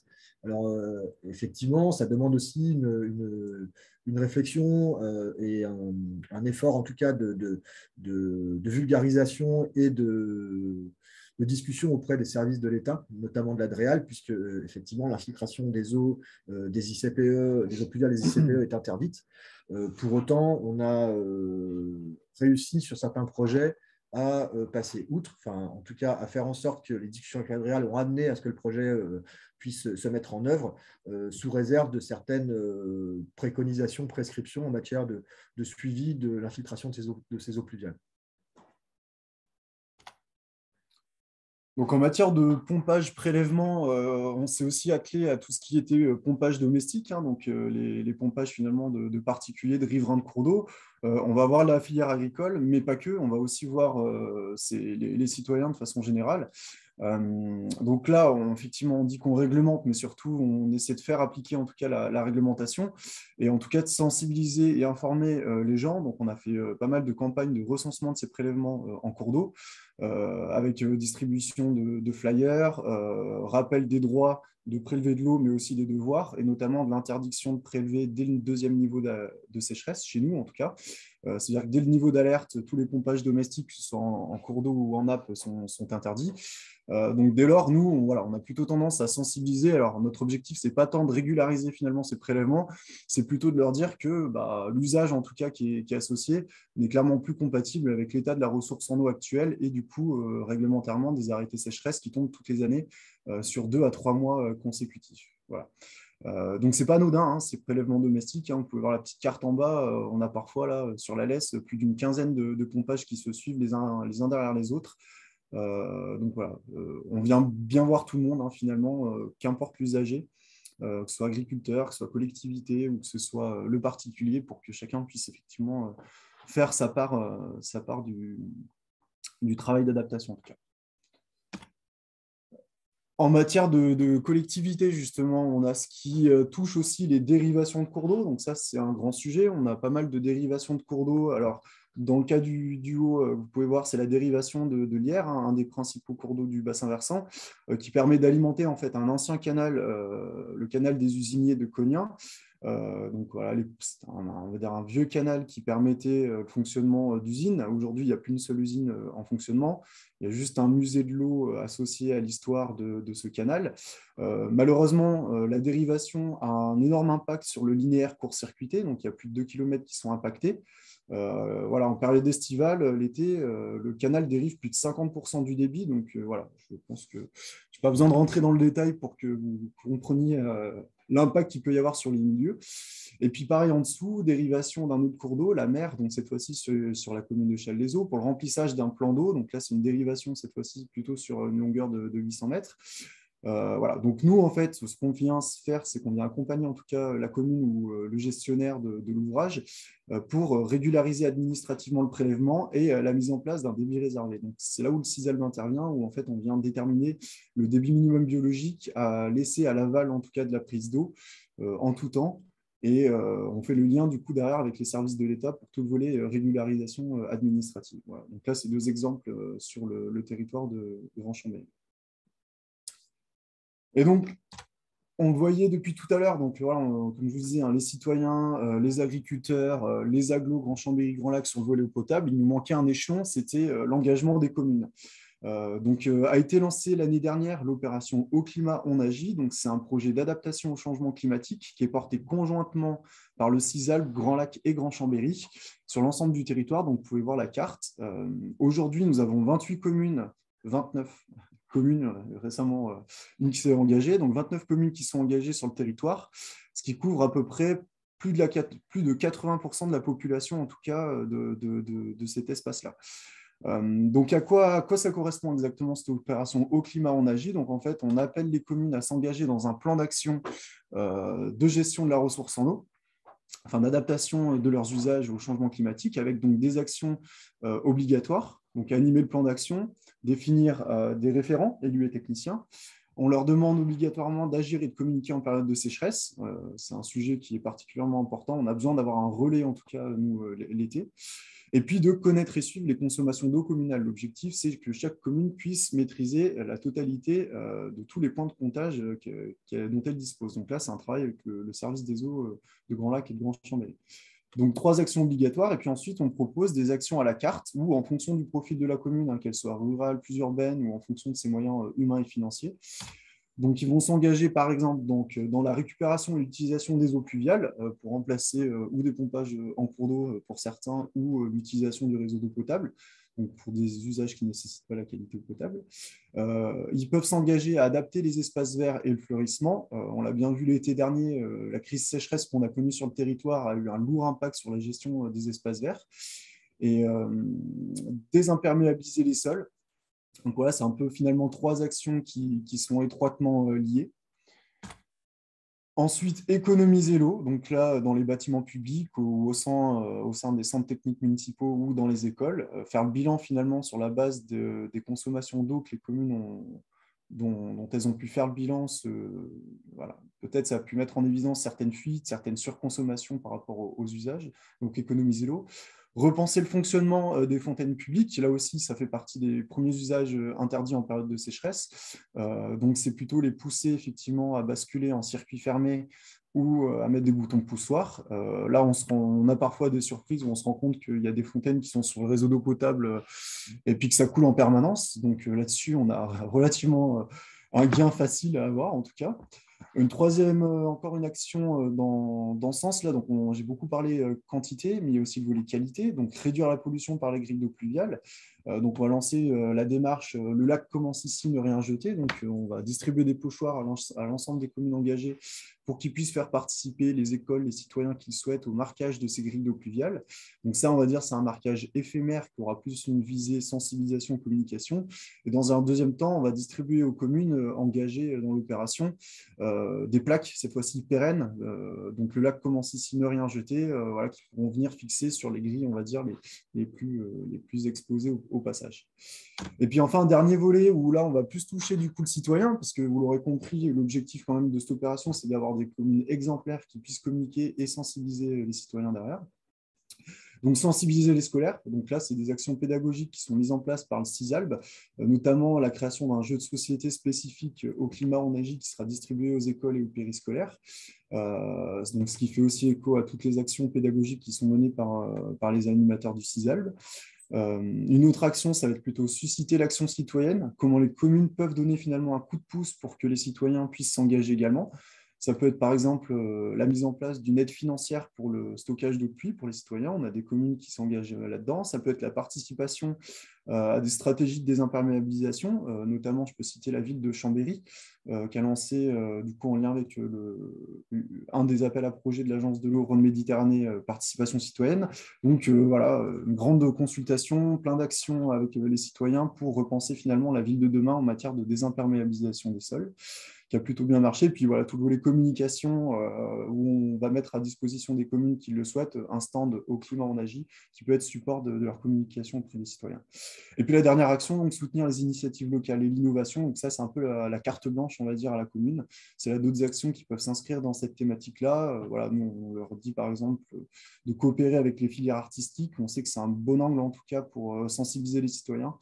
Euh, quelque chose d'un peu plus, on va dire, ludique et artistique et qui peut faire passer en tout cas pas mal, pas mal de messages. Donc voilà pour l'opération au climat on agit avec donc 29 communes engagées et euh, les, trois, les trois grandes collectivités, euh, Grand Lac, Grand Chambéry et Cisac, qui, portent, qui portent ce projet. Et quand effectivement on a préservé, économisé, récupérer l'eau pluviale, euh, qu'on a mis en place toutes ces actions de sensibilisation euh, auprès des communes pour, euh, pour avoir une gestion vertueuse de, de, l'eau, et que ça ne suffit pas. Sur, les sur certains territoires déficitaires, le, retour à une situation naturelle nécessite parfois des investissements plus, plus lourds pour carrément substituer les ressources.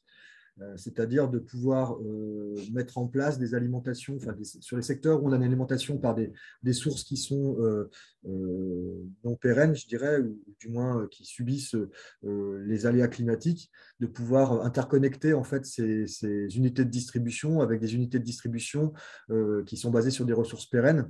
Donc sur la, sur la de Chambéry, globalement, ça se, ça se, résume par venir interconnecter la nappe de Chambéry avec les secteurs périphériques qui eux, sont dépendants de, sources karstiques. Et puis également sur le territoire euh, des Bauges, également de pouvoir euh, sécuriser en tout cas ces secteurs-là en remontant de l'eau d'un lac de Saint-Jean-de-la-Porte sur euh, les, communes des Bauges et en, en, maillant en fait les différentes unités de distribution entre elles pour s'assurer de, qu'en cas de, défaillance d'une ressource, on puisse secourir par une autre. Ça passe également par euh, la recherche de nouvelles ressources. Donc ça, c'est le cas euh, effectivement sur le territoire des Bauges, parce que je reviens rapidement à la carte d'avant. Euh, quand on dit de faire remonter l'eau du puits de Saint-Jean-de-la-Porte, ça fait quand même quelques étages de pompage. il faut que ça, ne rester que du secours et pas une alimentation pérenne pour ça, il faut aussi pouvoir euh, ben, diversifier euh, les ressources exploitées. Il y a des recherches qui sont en cours sur le territoire des Bauges, notamment sur la nappe de l'Echerenne et euh, la, nappe d'école en Bauges, pour justement interconnecter ces deux ressources-là avec les, sources karstiques qui, alimentent à l'heure actuelle le territoire. Mais pourquoi euh, raccorder et secourir justement ces secteurs déficitaires euh, où les sources gravitaires sont, exploitées? C'est euh, notamment pour mettre en place des consignes de restitution, faire en sorte qu'on laisse l'eau couler dans les cours d'eau. Donc là, on a la situation actuelle hein, où on a une source qui est captée pour l'eau potable, des usages tout au long du cours d'eau en termes de prélèvement, que ce soit les particuliers ou les agriculteurs ou les entreprises, et donc qui, qui, arrive à une situation de déséquilibre, en tout cas sur, euh, le milieu superficiel. Donc l'objectif de, ces interconnexions, c'est justement de, revenir à une situation euh, naturelle du cours d'eau, c'est-à-dire qu'à à partir d'un certain débit qui a été euh, établi en fonction du débit biologique du cours d'eau, on arrête de prélever dans la source, on laisse complètement le débit de la source s'écouler dans le cours d'eau et on substitue les prélèvements par euh, une ressource pérenne. Donc, euh, pour le territoire de Grand Chambéry, c'est la nappe phréatique de Chambéry, et pour le territoire de Grand Lac, c'est des prélèvements dans le lac du Bourget. Ce qui permet effectivement, euh, en période d'étiage, de se retrouver dans une situation naturelle, c'est-à-dire plus de prélèvements dans les cours d'eau et plus de prélèvements à la source liés à l'eau potable, et, donc des débits qui sont restitués en permanence à ces cours d'eau. Donc, sur le territoire de Grand Chambéry, c'est sept sources qui sont concernées. Euh, deux, sont, déjà équipées. Euh, le reste devrait être équipé dans l'année pour que d'ici, euh, je dirais, on espère la période estivale, l'intégralité des sources puisse bénéficier de ces, infrastructures et donc restituer le, débit, le débit évoqué au cours d'eau. Et donc, pour finir, c'est justement la, représentation de ce que ça représente un petit peu sur le territoire de Grand Chambéry. Hein. Donc, c'est les sources de l'épine qui sont impactées. On voit qu'il y a quand même un impact assez important de cette euh, substitution, puisque ça peut autant aller de 3 litres par seconde pour certaines sources, mais on voit également qu'on a des sources sur lesquelles la consigne de restitution s'élève à, 15 litres par seconde, 14 euh, litres par seconde, ce qui n'est pas rien ce qui signifie qu'arriver euh, à des débits du type 15-16 litres par seconde de la source, on coupe complètement les prélèvements et on vient substituer par la nappe pour laisser euh, l'eau s'écouler dans le cours d'eau. Donc, ça a un impact, c'est estimé globalement à 600 000 m3 par an euh, d'eau qui devrait euh, être alimentée par la nappe et non plus par les sources. Donc, c'est 600 000 m3 par an en plus dans les cours d'eau de, ce qu'il y avait à la situation actuelle, par rapport à la situation actuelle. Sachant qu'effectivement, il y a le fait qu'on laisse plus d'eau au cours d'eau, mais il y a aussi, en complément du coup de ces débits de restitution, de ces débits réservés, la mise en place aussi de volumes maximum prélevables sur chacun des captages, en mmh. fait, ce qui permet finalement de s'assurer d'une non-augmentation des prélèvements et le débit de restitution qui est basé en fonction des besoins des milieux aquatiques. Donc, chacune des valeurs que vous voyez, en fait, a été étudiée sur la base des données propres à chaque cours d'eau, propres à chaque source et croisé avec les besoins potables. Euh, tout ça a été validé en, comité de pilotage avec l'ensemble des, partenaires. Euh, voilà. Donc, le débit de restitution permet de rendre de l'eau au milieu aquatique. Le volume maximum prélevable permet justement d'assurer une non-augmentation des prélèvements. Et donc, la sécurisation depuis la nappe de Chambéry pour compenser finalement ce qui, n'est plus pris euh, sur, sur ces ressources-là. Voilà, et ben on en a fini pour, euh, la présentation des actions euh, sur le territoire de Grand Chambéry en lien avec euh, le PGRE du CISALB. Eh ben, merci à tous les deux. on va prendre les questions. Alors, il y a Judith qui demande si les, résultats de l'étude volume prélevable doivent-ils obligatoirement être validés par un arrêté préfectoral ou et est-ce que le PGRE également? Donc là, ça, c'est peut-être F qui va répondre. Je peux peut-être répondre. Oui, donc effectivement, il est prévu que euh, les résultats des études volume elles soient notifiés mmh. par le préfet de bassin au préfet de département. Donc c'est un courrier, hein, ce n'est pas un arrêté. Euh, parce qu'il bah, y a un impact de ces volumes prévables sur les autorisations de prélèvements qui sont données par les, les DDT et donc validées par le préfet. Donc ça, c'est la première étape de notification des résultats des études volume prélevables, effectivement. Du coup, après, ils font référence, ces volumes prélevables.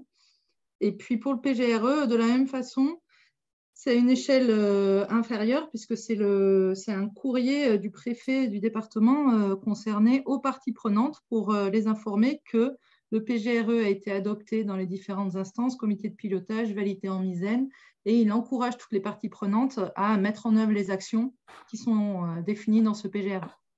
Donc oui, dans tous les cas, c'est une information à tous et c'est une validation des différentes étapes par un courrier préfectoral soit préfet coordonnateur de bassin vers les préfets départementaux, soit préfets départementaux vers toutes les parties prenantes du territoire et donc les acteurs. Merci. Il y a une question concernant la ZSE, mais vu que vous allez en parler euh, la semaine prochaine, donc comment a été définie la ZSE On va peut-être pas se ah bah, la session 3. Hmm. Voilà, donc on, en parlera lors de la session 3. Hmm. Et si vous ne pouvez pas y assister, il y aura, il y aura un replay. Euh, donc sur les travaux agricoles, l'économie de stockage, est-ce que le CISALB accompagne les maîtres d'ouvrage et est-ce que la Chambre d'agriculture intervient? Euh, oui, alors nous, effectivement, on accompagne, euh, on va dire, dans la limite de nos compétences hein, au CISALB sur, sur le volet agricole. nous, ce qu'on peut faire, c'est en tout cas des dimensionnements de, de volume stockable au regard des usages et de la quantité de pluie qui va tomber sur les toitures, sur les serres, etc. Euh, on a accompagné Grand Chambéry, euh, qui était maître d'ouvrage de la retenue de la Villette. Donc, le CISAL, pour le coup, était euh, AMO de ce projet-là. la Chambre d'agriculture vient plutôt en appui, on va dire, plutôt dans un second temps. si vraiment on a des soucis de, données, mais c'est vrai que pour, enfin, moi, dans le, dans, la, on dire, dans le fonctionnement courant, on reste assez aujourd'hui CISAL en direct avec les exploitants agricoles. Euh, la Chambre d'agriculture Savoie-Mont-Blanc, effectivement, a également aujourd'hui maintenant un technicien qui accompagne aussi en direct euh, la filière agricole. Euh, mais voilà, pour l'instant, c'est plus une instance aujourd'hui qu'on consulte ponctuellement, effectivement, quand on a des projets comme ça. Ok, merci. Est-ce qu'il y a des, expérimentations du développement du stockage de l'eau dans du karst qui ont été envisagées? Non, non, pas à l'heure actuelle. Là, pour le moment, on a orienté euh, sur la, recherche de nouvelles ressources. On a également des, projets de, pilotes pour la réutilisation des eaux usées. on va peut-être réfléchir à des zones étendues d'infiltration pour réalimenter la nappe, mais sur le stockage karst, pour le moment, on a tellement peu de connaissances sur le fonctionnement des karsts, euh, et notamment de, celui des Bauges, euh, que ces expérimentations-là pas, sont pas abordées. Euh, Aurélie, est-ce que tu veux poser ta question en direct ou je la pose moi? Oui, bonjour à tous. J'avais juste trois questions par rapport à, à votre présentation. Tout d'abord, merci parce que c'était hyper intéressant et que nous, on est un peu en retard là-dessus. Euh, je me posais la question par rapport à la dérivation cours d'eau et euh, par rapport au prélèvement du canal usinier. Mhm. Est-ce que le débit euh, minimum biologique que vous avez établi remet mhm. en question le prélèvement. Si oui, en gros, à quelle hauteur Et comment se fait la répartition entre les usagers s'il y a des droits d'eau en fait existants euh, par la suite? Est-ce que ça peut générer des conflits d'usage ou comment vous travaillez là-dessus? Alors, effectivement, euh, y a, nous, le canal usinier, c'est un, un, très gros sujet euh, parce que le débit minimum biologique qui va devoir être appliqué, donc en guise de débit réservé en tout cas, risque d'entraîner sur un mois, voire plus, des coupures complètes d'alimentation de ce canal. Euh, il faut savoir qu'aujourd'hui, il n'y a plus d'usage économique euh, du canal, donc il n'y a plus d'usines associées. Euh, le seul usage en fait qu'il y a, c'est bon, bah, d'une part l'agrément entre guillemets, parce que finalement ce canal chemine un peu au, sein de la commune, donc il y a ce côté agrément. Et il y a aussi du coup le musée de l'eau, donc que je mentionnais tout à l'heure, qui fait tourner en fait, qui utilise lors de visites grand public euh, l'eau passant dans le canal pour faire fonctionner en fait une roue à hob qui entraîne de vieux métiers à tisser et puis euh, euh, une vieille presse, etc. pour voilà, sensibiliser en tout cas, rappeler l'histoire de, ce canal-là. Donc effectivement, on a aussi une rivière qui a un débit qui s'amoindrit d'année en année en période d'estiage et sur des périodes beaucoup plus longues. Donc il est clair que ce débit réservé va impacter l'usage. voilà. Donc là, justement, on est en pleine, euh, discussion avec euh, les gestionnaires euh, du canal, notamment le représentant de, de l'atelier de l'eau, hein, de, ce musée-là, pour bien leur faire comprendre que demain, l'usage va être, va être limité, voire totalement coupé. L'objectif, c'est quand même qu'ils puissent, voilà, ils ont quand même une visée pédagogique dans le cadre de leur musée, c'est aussi peut-être de pouvoir sensibiliser la population au fait que, regardez, dans le cadre du changement climatique et de l'évolution, en tout cas, euh, de la prise en compte de la gestion de la ressource en eau, euh, plutôt finalement, entre guillemets, de, se renfermer en se disant mince, on a un canal à sec, c'est plutôt comment communiquer sur le fait pourquoi le canal est à sec, le fait qu'on préserve les milieux aquatiques de la rivière. Voilà, on, va essayer en tout cas des accompagner pour inverser entre guillemets plutôt euh, la philosophie hein, de, qui, qui, a clairement une connotation négative de base mais c'est plutôt de prendre du contre-pied pour sensibiliser les gens au fait du pourquoi il n'y a plus d'eau euh, dans, ce canal-là. Et en matière de droit d'eau, effectivement, donc il y a un droit d'eau historique, euh, parce que ce canal date du XVIIIe euh, siècle. par contre, il va y avoir une régularisation hein, de, ce prélèvement qui va, du coup, donc l'ADT va instruire une, autorisation de prélèvement incluant cette fois-ci la notion de débit réservé, mais aussi de débit maximum prélevable pour l'usage. Parce qu'aujourd'hui, en fait, la prise d'eau est gravitaire et euh, la conception de l'ouvrage de prélèvement fait qu'on a euh, voilà, 50% du débit euh, qui part dans le canal alors qu'on aurait bien besoin de moins en tout cas. J'avais deux autres questions. C'était, vous évoquiez la question de secteur en déséquilibre quantitatif. Mm. mais sur lequel on n'aurait pas de marge de manœuvre par rapport au, pour récupérer une situation, on va dire, eau euh, satisfaisante. Je me mm. posais la question par rapport aux... C'est des discussions qu'on a dans le cadre des comités départementaux eau, en lien avec les applications des arrêtés 4 sécheresse. Mm-hmm. Sur la question du traitement équitable entre les usages, est-ce que du coup, vous avez des secteurs ou des acteurs qui seraient susceptibles de dire Ah oui, ben, nous, on va faire des efforts, ça va nous coûter euh, pas mal de ronds, et à côté, en fait, on ne peut rien faire, on ne remet pas en question les prélèvements pour X raisons. Euh, comment est-ce que vous avez été confronté à ce type de situation? Et dernière question, sur le coût d'animation lié à la mise en œuvre du PTGE, parce qu'on voit que vous avez beaucoup d'accompagnement sur les actions de com, sur l'agriculture, sur un certain nombre d'autres choses. Et moi, je vous rejoins là-dessus. Je pense que si on ne développe pas l'animation pour accompagner les territoires, bah, du coup, si on met des règles ou des actions euh, en disant faudrait faire ci, faudrait faire ça, mais qu'il n'y a pas cet accompagnement-là, on n'arrivera pas à avancer. Combien ça coûte pour le CISAB Combien ça coûte potentiellement pour le Grand Chambé, les communes Il y a peut-être euh, des mutualisations de moyens avec des employés communaux aussi. Enfin, comment vous êtes organisé euh, sur l'animation et la mise en œuvre du PTGE sur, sur, la première partie, le, fait d'avoir des territoires qui sont en, déficit structurel lié à la nature même hein, de l'alimentation des, eaux de surface par des, sources karstiques qui, qui à l'étiage, présentent des débits faibles et puis une infiltration à l'aval dans des cônes déjection qui, arrivent à la nappe, n'implique pas le fait qu'on fasse rien. au contraire, mais c'est l'objectif qui change en fait c'est pas de, vouloir revenir à, un équilibre euh, et d'atteindre le débit biologique en permanence parce qu'on sait que c'est voué à l'échec. Euh, pour autant, c'est de revenir à un fonctionnement le plus naturel possible euh, du cours d'eau et donc de, limiter au maximum les prélèvements au cours d'eau, voire de les interdire quand, quand c'est possible, et euh, d'avoir une action sur les usages à la source, notamment, bah, c'est les consignes de restitution, pour qu'en période d'étiage, le, cours d'eau retrouve son fonctionnement naturel, même si à l'aval, on sait pertinemment qu'il sera à sec, parce que c'est naturel, il s'infiltre et que la, quantité d'eau n'est pas suffisante pour qu'on ait un écoulement de surface. Mais pour autant, on aura, on aura euh, garanti qu'on a un fonctionnement naturel, qu'on n'aura pas accentué ce déficit, soit dans l'intensité, dans soit dans la durée. Donc euh, l'objectif, il est bien là. Euh, mais ce n'est pas pour autant qu'on ne fait rien. Et, effectivement, Grand Chambéry a investi plus de 3 millions d'euros pour, pour mettre en place cette interconnexion avec la nappe, pour pouvoir permettre les substitutions. Euh, ça n'a pas posé question, en tout cas.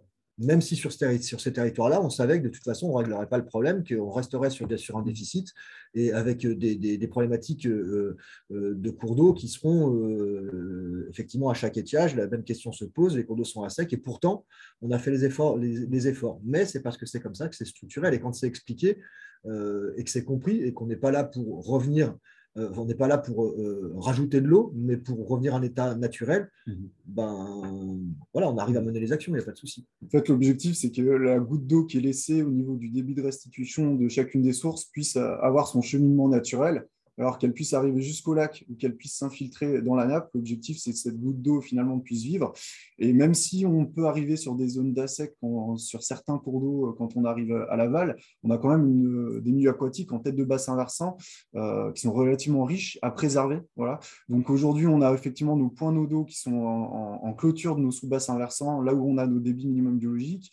Mais clairement, on n'oublie pas en fait la partie amont de tête de bassin versant mmh. avec justement des zones refuge d'espèces, des zones de frières, etc. Voilà. Euh, sur la partie plus, on va dire, euh, gestion de accompagnement, euh, donc nous au CISALB, sur la partie animation du plan de gestion, donc on est deux. donc il y a moi qui pilote le plan de gestion, qui accompagne la partie agriculture commune. Et puis, il y a un technicien, donc on fonctionne en, binôme. Euh, j'ai un technicien avec moi qui travaille sur tous les aspects plutôt études euh, en lien avec les collectivités, donc euh, les débits de restitution, les volumes maximum prélevables. Euh, il est en charge aussi de tout le suivi hydrométrique, parce qu'effectivement, ce qu'on n'a pas dit, c'est qu'on a aussi tout un réseau de mesures au CISALB qui permet, du coup, sur tous les, sous-bassins versants que vous voyez, euh, de pouvoir en fait faire notre observatoire annuel sur, sur le volet ressources en eau, suivi des étiages, atteinte ou non des débits minimums biologiques, etc. Voilà, donc on a ce réseau de mesures-là sur lequel le technicien m'accompagne, donc on est bien en binôme là-dessus. Euh, et euh, bien entendu, après, on est en lien tout le temps avec euh, les, deux services des eaux dans le cadre des compétences respectives. sur le volet eau pluviale, eau, potable et des impairs, où effectivement Grand Chambéry et Grand Lac ont la main, mais on est, on est très, très clairement souvent en lien. on est dans le même bureau aujourd'hui, c'est pas pour rien. Et pour, Grand Chambéry, effectivement, c'est une partie de TP de l'imposte euh, qui travaille sur les thématiques des imperméabilisations, accompagnement des communes sur, sur climat. Euh, voilà, globalement, c'est n'est pas un 50% de poste, mais presque. Et puis euh, moi qui interviens sur la, partie, je dirais, intégration du PGRE dans la, dans la politique eau de, de, la direction de l'eau et de l'assainissement. Et on, a eu, enfin, et pour répondre rapidement à la, question que j'ai vu apparaître sur l'appel à, à, projet climat sur la désimperméabilisation euh, des cours d'école. Euh, ça avait été initié quand j'étais, parce que j'ai eu les deux casquettes, j'étais précédemment au CISALB avant d'être à Grand Chambéry. Ça avait été initié euh, par le CISALB, l'accompagnement de ces communes sur ces projets-là, et, ça a été repris par Grand Chambéry sur l'accompagnement des, des, projets de désimperméabilisation, en lien avec la, compétence au pluvial, hein, tout simplement. Ok, merci. Euh, on avait une dernière question. Donc, êtes-vous en lien avec les, avec les services ou personnes au CISALP, je suppose, qui travaillent sur les inondations, notamment pour la météorologie? Ouais. bah, Bien sûr, là-dessus, euh, en fait, donc, il faut savoir que le CISALP, sur l'ensemble du bassin versant, euh, a la compétence GEMAPI. Donc, la compétence a été déléguée au CISALB. Donc, euh, les aglos ont bien entendu toujours la main. Euh, donc, au sein du CISALB, on a, on a un pôle GEMA, donc maintenant dans lequel la ressource en eau vient s'inscrire, donc le pôle gestion de l'eau et des milieux aquatiques.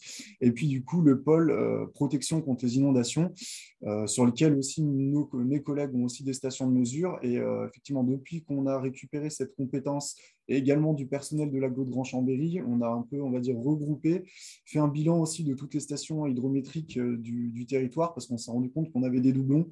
Parfois, à, 20 mètres d'écart, on avait une station euh, sécheresse, euh, enfin ressources en eau, une station inondation. Donc, on est en phase effectivement de mutualiser les moyens et puis ça nous libère du matériel pour, aller en, disposer ailleurs. Mais effectivement, voilà, maintenant, c'est vrai qu'on on est beaucoup plus en lien sur cette gestion de, de l'hydrométrie en tout cas. Voilà. Eh ben, écoutez, je vous remercie. Là, on arrive au, bout du temps, donc euh, je vais devoir euh, finir cette, euh, cette, intervention. Merci beaucoup. En tout cas, bah, c'était très concret et très, très intéressant. Très bien. Bah, je vais maintenant donner la parole à Christelle Constantin-Bertin. Ok, donc moi, je suis Christelle Constantin-Bertin. Je suis chargée de mission au CIRA, syndicat isérois des rivières Rhône-Naval, pour la commission locale de l'eau du sage Bièvre-Valois. Donc, euh, l'objectif de ma présentation, c'est de vous présenter euh, la gestion quantitative qu'on fait sur le, sur le périmètre du sage bièvre et valoir sachant qu'on a un sage avec un volet quantité et des volumes et un PGRE. Et l'objectif, c'est de voir également comment, comment est-ce qu'on suit euh, ce sage et ce PGRE. Donc, tout d'abord, en termes de périmètre, donc le périmètre du sage bièvre valoir donc on est à la fois sur l'hiver et une petite partie sur la Drôme. Euh, et du coup, le périmètre est lié à la nappe des alluvions fluvio-glaciaires, qui est la nappe que vous voyez là, qui apparaît en bleu, et, euh, et qui est une nappe puissante, en fait, qui est très utilisée sur le, territoire, avec une forte relation entre euh, avec les cours d'eau et les zones humides. En fait, on a un certain nombre de cours d'eau en fait qui ne vont pas jusqu'au Rhône, mais qui s'infiltrent, qui retrouvent la nappe. Donc voilà, vous voyez ces cours d'eau-là. Et on, a également des grosses zones d'émergence de la nappe. Alors par exemple, ici, les sources de Beaufort, les sources de Mantes, euh, qui donnent naissance à des zones humides et à des cours d'eau. On a 79 communes, 900 km, environ 110 000 habitants. On est en milieu euh, rural. Hein. Euh, les, communes, c'est la Côte-Saint-André, Beaurepaire, Sana, ce sont des petites communes. Euh, un petit rappel sur euh, les clés, donc les commissions locales de l'eau. Euh, donc une commission locale de l'eau, c'est un parlement de l'eau local qui, est, institué par le préfet, mais suite à la volonté des élus. Et donc il y a trois collèges, donc un collège des élus avec 24 représentants pour nous, un collège des usagers avec les formes d'agriculture, formes du commerce, les associations environnementales, les carriers, un collège des services de l'État avec neuf représentants. Et donc, cette commission locale de l'eau, elle est présidée par un élu local. Donc, c'est la commission locale de l'eau qui élabore le SAGE et qui suit sa mise en œuvre. Et sachant que dans notre cas, euh, la commission locale de l'eau, elle a élaboré et elle suit également des outils d'application du SAGE tels que donc le PGRE, le plan de gestion de la ressource en eau, et il y a également un contrat de bassin qui est fait, qui est également suivi par la commission locale de l'eau. Et donc, cette commission locale de l'eau, elle s'appuie sur une structure porteuse qui est le CIRA, syndicat isérois des rivières agro-navales, qui du coup n'a pas le périmètre. Hein. Le CIRA, il ne comprend pas la partie dromoise du Sage et du coup, il a des bassins versants euh, supplémentaires euh, au, nord du bassin versant de Bièvre-Valois. En termes d'historique, pour bien comprendre pourquoi on a à la fois un Sage avec un volet quantité et un PGRE, euh, je vous fais rapidement un petit historique. En fait, le Sage, l'état des lieux, il a été validé en 2010. À ce moment-là, il y a eu le SDAGE 2010-2015 placer le bassin versant de Bièvre-Valoir et la nappe en déficit quantitatif.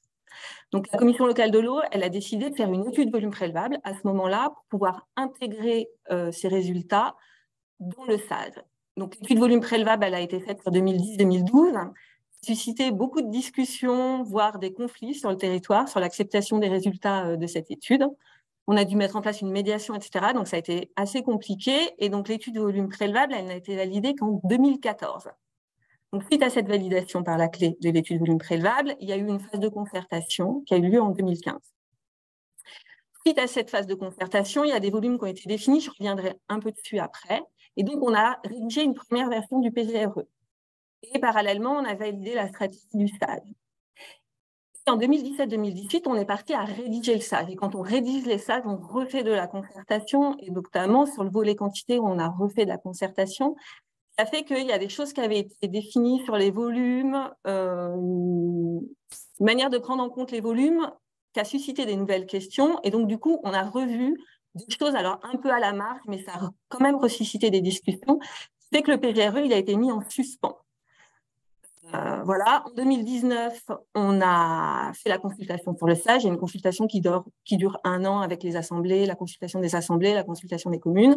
Et donc, on en a profité pour finir la rédaction du PGRE en prenant en compte ce qui s'était dit en 2010-2018.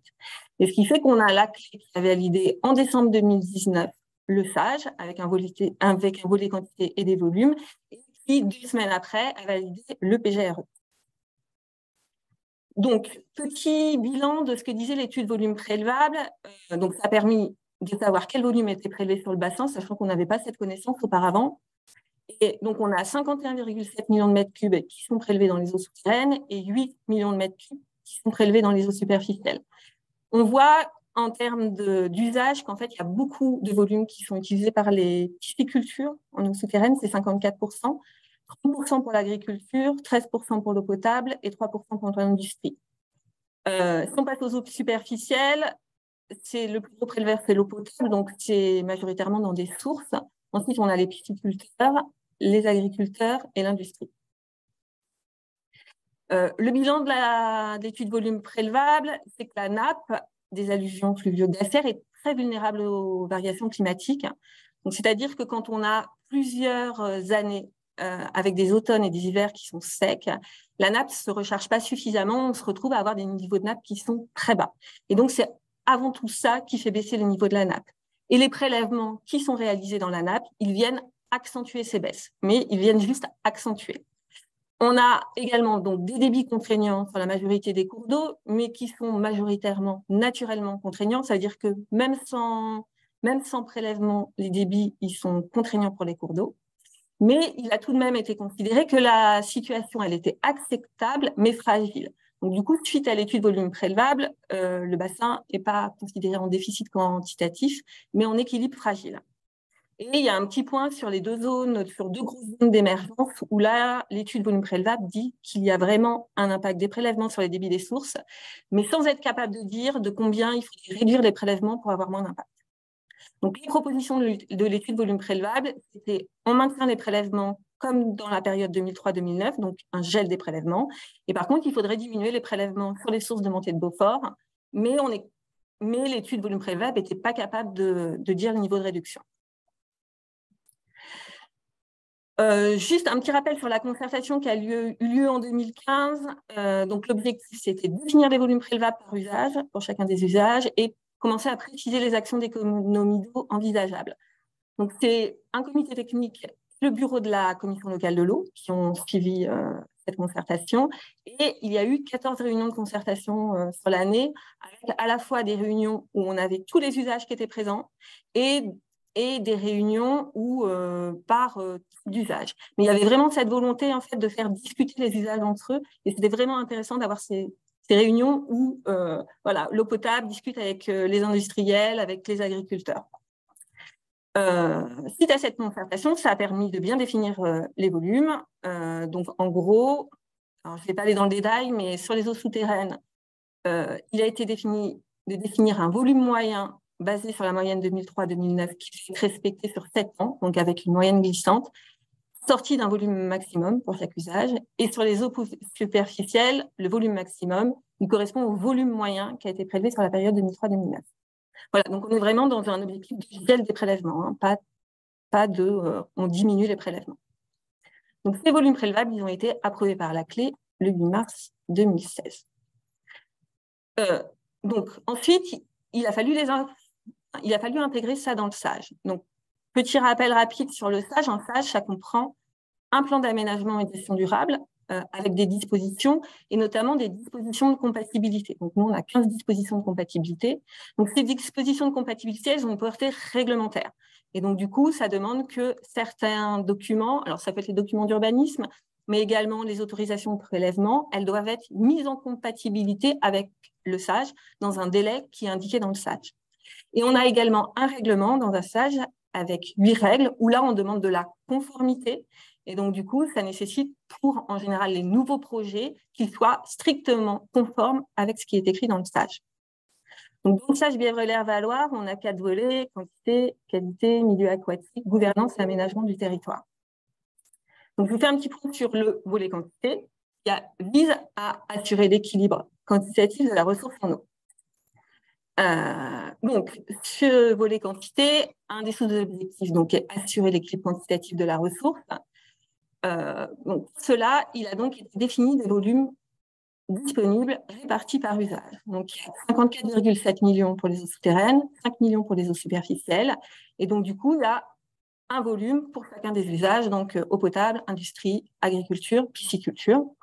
Et on demande que les autorisations de prélèvement de tous les usagers qui existent sur le territoire soient mises en compatibilité avec ces volumes dans un délai de cinq ans après l'approbation du stage.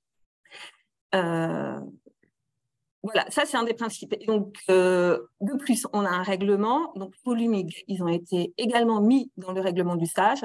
Et c'est-à-dire quand il y a des nouvelles demandes d'autorisation de prélèvement, on doit vérifier qu'il y a bien une conformité et que ça permet de respecter les volumes qui ont été définis dans le SAGE. Donc là, ça montre un peu vraiment la portée réglementaire du SAGE par rapport à ces volumes. Autre point, c'est qu'on a défini alors, des débits d'objectifs d'étiage et des niveaux piézométriques d'alerte. Donc, les débits d'objectifs d'étiage, on en a défini sur cinq stations. Donc, on a le débit à respecter euh, sur les mois d'étiage sur, euh, sur ces cinq stations. Et on a les niveaux piézométriques d'alerte, quatre piézomètres à respecter tous les mois de l'année sur ces quatre piézomètres. Et c'est censé nous servir d'indicateur, sachant que l'objectif est de ne pas sous-passer CDE et CNPA plus de deux années sur dix. Et dans le SAGE, on a également pas mal de dispositions qui demandent aux différents acteurs de faire des actions d'économie d'eau. Voilà, donc c'était plutôt de la, la préconisation. Euh, du SAGE sur le volet quantité, c'est que c'est retrouver un fonctionnement naturel optimum pour augmenter la ressource en eau du territoire. Donc, il faut savoir que naturellement, c'est ce que je disais un peu au début de la présentation, on est sur une infiltration très importante en fait. Les, les eaux, là, on a un peu euh, des coteaux qui sont plutôt imperméables, c'est les coteaux de Sambaran, les coteaux de Bonnevaux. Et en fait, on a des coteaux qui se créent sur ces coteaux. Et historiquement, quand ça arrivait dans la plaine, ça s'infiltrait. Euh, il y a certains secteurs où l'eau s'est infiltrée, où historiquement, il y a eu des, canaux, des sortes de canaux qui ont permis de rejoindre d'autres cours d'eau, et qui, au lieu que s'infiltre, elle rejoint le Rhône plus rapidement. Donc, il y a vraiment un objectif de la clé d'essayer de travailler pour réinfiltrer au maximum les eaux. Et donc, euh, pour cela, il est prévu de faire un schéma d'infiltration pour euh, réinfiltrer les eaux. Et sous-objectif de ce volet quantité du SAGE, c'est préserver les sources de montée de Beaufort et donc, il y a les deux grosses zones d'émergence de la nappe. Et donc, sur ces deux grosses zones, il y a un périmètre qui est défini euh, avec, avec les données qui avaient été mises dans l'étude volume prélevable. Et donc, du coup, le règlement du SAGE, il interdit tout nouveau prélèvement ce secteur-là, en fait, euh, sauf en cas de substitution. Si on arrête un prélèvement, on pourra mettre un autre à la place. Mais du coup, il peut pas y avoir de nouveaux prélèvements sur ces secteurs-là. Donc ça, c'est les volets quantité du SAGE. Après, j'ai d'autres volets dans le SAGE qui contribuent aussi aux volets quantité, par exemple sur les zones de sauvegarde pour l'eau potable, euh, sur les zones de sauvegarde pour l'eau potable, tous les prélèvements autres que ceux pour l'eau potable, donc tous les nouveaux prélèvements sont interdits également. Donc on a des zones comme ça où on interdit les nouveaux prélèvements. Et on demande également dans le SAGE, par rapport aux documents d'urbanisme, de prendre en compte euh, la ressource en eau et de faire des bilans besoins ressources et prendre en compte euh, le fait que ce soit en gel des prélèvements sur le bassin versant. Donc, parallèlement à ça, on a un plan de gestion de la ressource en eau. Donc, euh, ce plan de gestion de la ressource en eau, donc, la base, normalement, l'objectif plan de gestion de la ressource en eau, c'est organiser le partage du volume prélevable global entre les différents usages. Donc, nous, ça a été fait dans le stage. Donc, du coup, on rappelle ça dans le PGRE pour que les documents ils soient cohérents. Mais en fait, on a juste repris ce qui était marqué dans le stage, sachant que dans le stage, ça lui donne une portée juridique qu'il n'a pas dans le PGRE. ce qui était intéressant pour nous d'avoir un PGRE, c'était de définir plus précisément un, programme d'action. Parce que dans le SAGE, on reste sur des grandes préconisations. Et là, ça nous permettait d'avoir des choses plus précises à faire pour euh, préserver l'équilibre quantitatif. Autre intérêt d'avoir un PGRE, c'est que ça permettait aux maîtres d'ouvrage, euh, notamment les maîtres d'ouvrage pour l'eau potable, d'obtenir des bonifications de l'agence de l'eau sur certaines actions. Donc, ce PGRE, il, est en cours de mise en œuvre là, parce qu'il va jusqu'à fin 2024 et il a exactement le même périmètre que le périmètre du phase Valois. Donc, euh, comment est-ce qu'en fait on suit ces, deux documents? En gros, il faut savoir que le volet quantité du stage et le PGRE, on les suit conjointement. on ne fait pas vraiment de différence entre les deux parce que ça, se répond.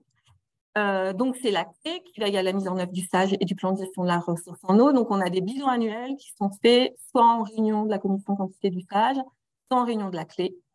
Et on suit notamment les prélèvements qui sont faits, on suit la ressource et on suit euh, les actions qui sont mises en place. Donc, je précise un peu. Euh, donc, annuellement, en fait, on récupère toutes les données de prélèvement et on vérifie si les volumes prélevés sont en cohérence avec le stage. Donc ça, c'est les volumes prélevés sur la période 2003-2009. Euh, donc, mon graphique, là, je vais jusqu'à 2020. Et donc, en fait, ce qu'on voit, c'est que sur les dernières années, là, 2017-2020, on a quand même des volumes qui ont, qui augmenté, avec 2020 un volume qui était relativement haut. Euh, en fait, c'est très lié au prélèvement des piscicultures qui sont importants puisque la nappe est plus basse et plus la nappe est basse, moins il y a d'eau qui sort des sources, donc plus les piscicultures ont besoin d'eau. Et on a les euh, agriculteurs également, où on a des étés de plus en plus secs et qui du coup ont des augmentations de leur prélèvement en eau. Euh, sachant que pour l'instant, en gros, les volumes qui ont été définis dans le SAGE sont respectés. On a eu en 2020 les agriculteurs qui ont dépassé euh, le volume qu'ils avaient normalement. Voilà. Sinon, pour l'instant, les volumes sont respectés. Sur les eaux superficielles, on a la même chose, on suit régulièrement les prélèvements. Donc là, on est plutôt euh, sur des prélèvements qui sont en baisse pour euh, tous les usages. Donc il y a eu quand même pas mal de reports de prélèvements superficiels vers les eaux souterraines. Alors, on suit également les niveaux de nappe, notamment on vérifie si les niveaux piézométriques d'alerte qui ont été définis dans le SAGE sont sous-passés ou pas tous les mois. Donc en fait, là, vous avez en orange les niveaux piézométriques d'alerte qui sont différents de mois par mois. On est entre 2011 et 2021. Et ça, c'est les niveaux mensuels pour chaque mois. Et en fait, dès que vous avez du blanc, là, comme ça, ici, ici, ici, ici, ici, ça veut dire qu'on sous-passe les niveaux piézométriques d'alerte. Euh, donc ça, on le fait sur tous les piézomètres de manière annuelle. Et si je vous fais un petit bilan euh, sur les kilomètres qui sont suivis sur le bassin versant. Euh, donc, on voit qu'en 2012-2016, il y avait de passement des niveaux piézométriques d'alerte. Depuis 2017, euh, il y en a tous les ans. Alors, en 2021, c'était plus en début, en fin d'année. Tant que, ce que je disais tout à l'heure, c'est que normalement, l'objectif, c'est que le niveau piézométrique d'alerte soit passé que deux années sur dix. Donc, on voit que là, en fait, on a une accentuation des problématiques de CFS. Sur les débits des cours d'eau, c'est pareil, on fait le euh, on compare les débits moyens mensuels aux débits d'objectifs d'étiage. Donc en orange, vous avez les débits d'objectifs d'étiage et en bleu, c'est les débits moyens mensuels pour les mois d'été. Et euh, donc, en fait, c'est pareil, en 2011, on a un sous-passement de ces débits d'objectifs d'esquiage, en 2017 également, en 2018, en 2019 également, en 2020, donc pas en 2021 parce que c'est une, une année très humide. Et donc, si j'ai le même petit tableau récapitulatif que sur le niveau piézométrique d'alerte, euh, de 2017 à 2020, on a systématiquement, sur toutes les stations qu'on suit, euh, sous-passer les débits d'objectifs d'étiage. Voilà, 2021, euh, ça s'est bien passé. 2022, on est aussi en sous-passement permanent des débits d'objectifs d'étiage. Euh, on suit donc également les actions qui ont été mises dans le PGRE. donc, par rapport, alors je ne vais pas vous citer toutes les actions qui ont été mises dans le PGRE, ce n'était pas l'objectif, Mais je vous cite quelques exemples. Alors, on a certaines actions, par exemple, c'est améliorer les rendements des réseaux d'eau potable. Donc, du coup, toutes les structures en eau potable, elles ont prévu des actions. donc, on, on, fait le point annuellement avec eux pour voir ce qui a été mis en place et quels sont les volumes économisés.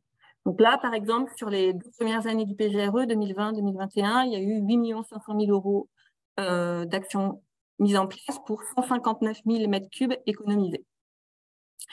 Euh, sur les actions agricoles, on a eu notamment du matériel d'irrigation plus économe en eau qui a été utilisé donc pour un coût de 689 000 euros avec 35 000 mètres cubes économisés par an euh, grâce à ces investissements.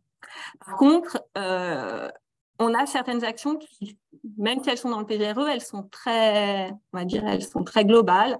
Par exemple, on va dire favoriser les pratiques agricoles plus économes en eau. Et euh, pour ça, ce type d'action, on a beaucoup de mal, en fait, quand on fait le point avec les chambres d'agriculture ou avec les coopératives, d'avoir des choses précises pour savoir qu'est-ce qu'ils mettent en place en termes d'animation, en termes de formation, en termes d'expérimentation pour euh, favoriser les pratiques agricoles plus économes en eau. Et euh, donc ça, ça nous pose un problème parce que du coup, on a du mal à se rendre compte de ce qui se passe. Donc, il faut vraiment qu'on arrive à investir un peu ce sujet-là, qui n'a pas été suffisamment investi pour le moment. Mais on manque un petit peu de temps pour ça. Donc, euh, on espère pouvoir y arriver cette, cette année, en fait. voilà. au niveau des pisciculteurs, autre exemple. Alors, les pisciculteurs, donc il y avait des projets pour passer une partie des piscicultures en circuit fermé. Euh, donc là, il y a eu un des projets qui a été fait pour 5 millions d'euros et ça fait, peut permettre d'économiser 2 millions de mètres cubes d'eau, en fait. Donc ça peut être des grosses économies, mais c'est des voilà, ça peut être des grosses économies. En fait, par rapport aux volumes qui sont économisés pour l'eau potable ou pour l'agricole, c'est des volumes qui sont potentiellement importants. Pour les industriels, on a du mal à récupérer les données. C'est la même chose un peu que pour l'agriculture. Et euh, voilà, et ça, il y a également euh, alors ça, c'est des actions qui sont et dans le PGRE et dans le SAGE également, qui sont des actions d'amélioration de la connaissance euh, pour, euh, par rapport à l'état quantitatif.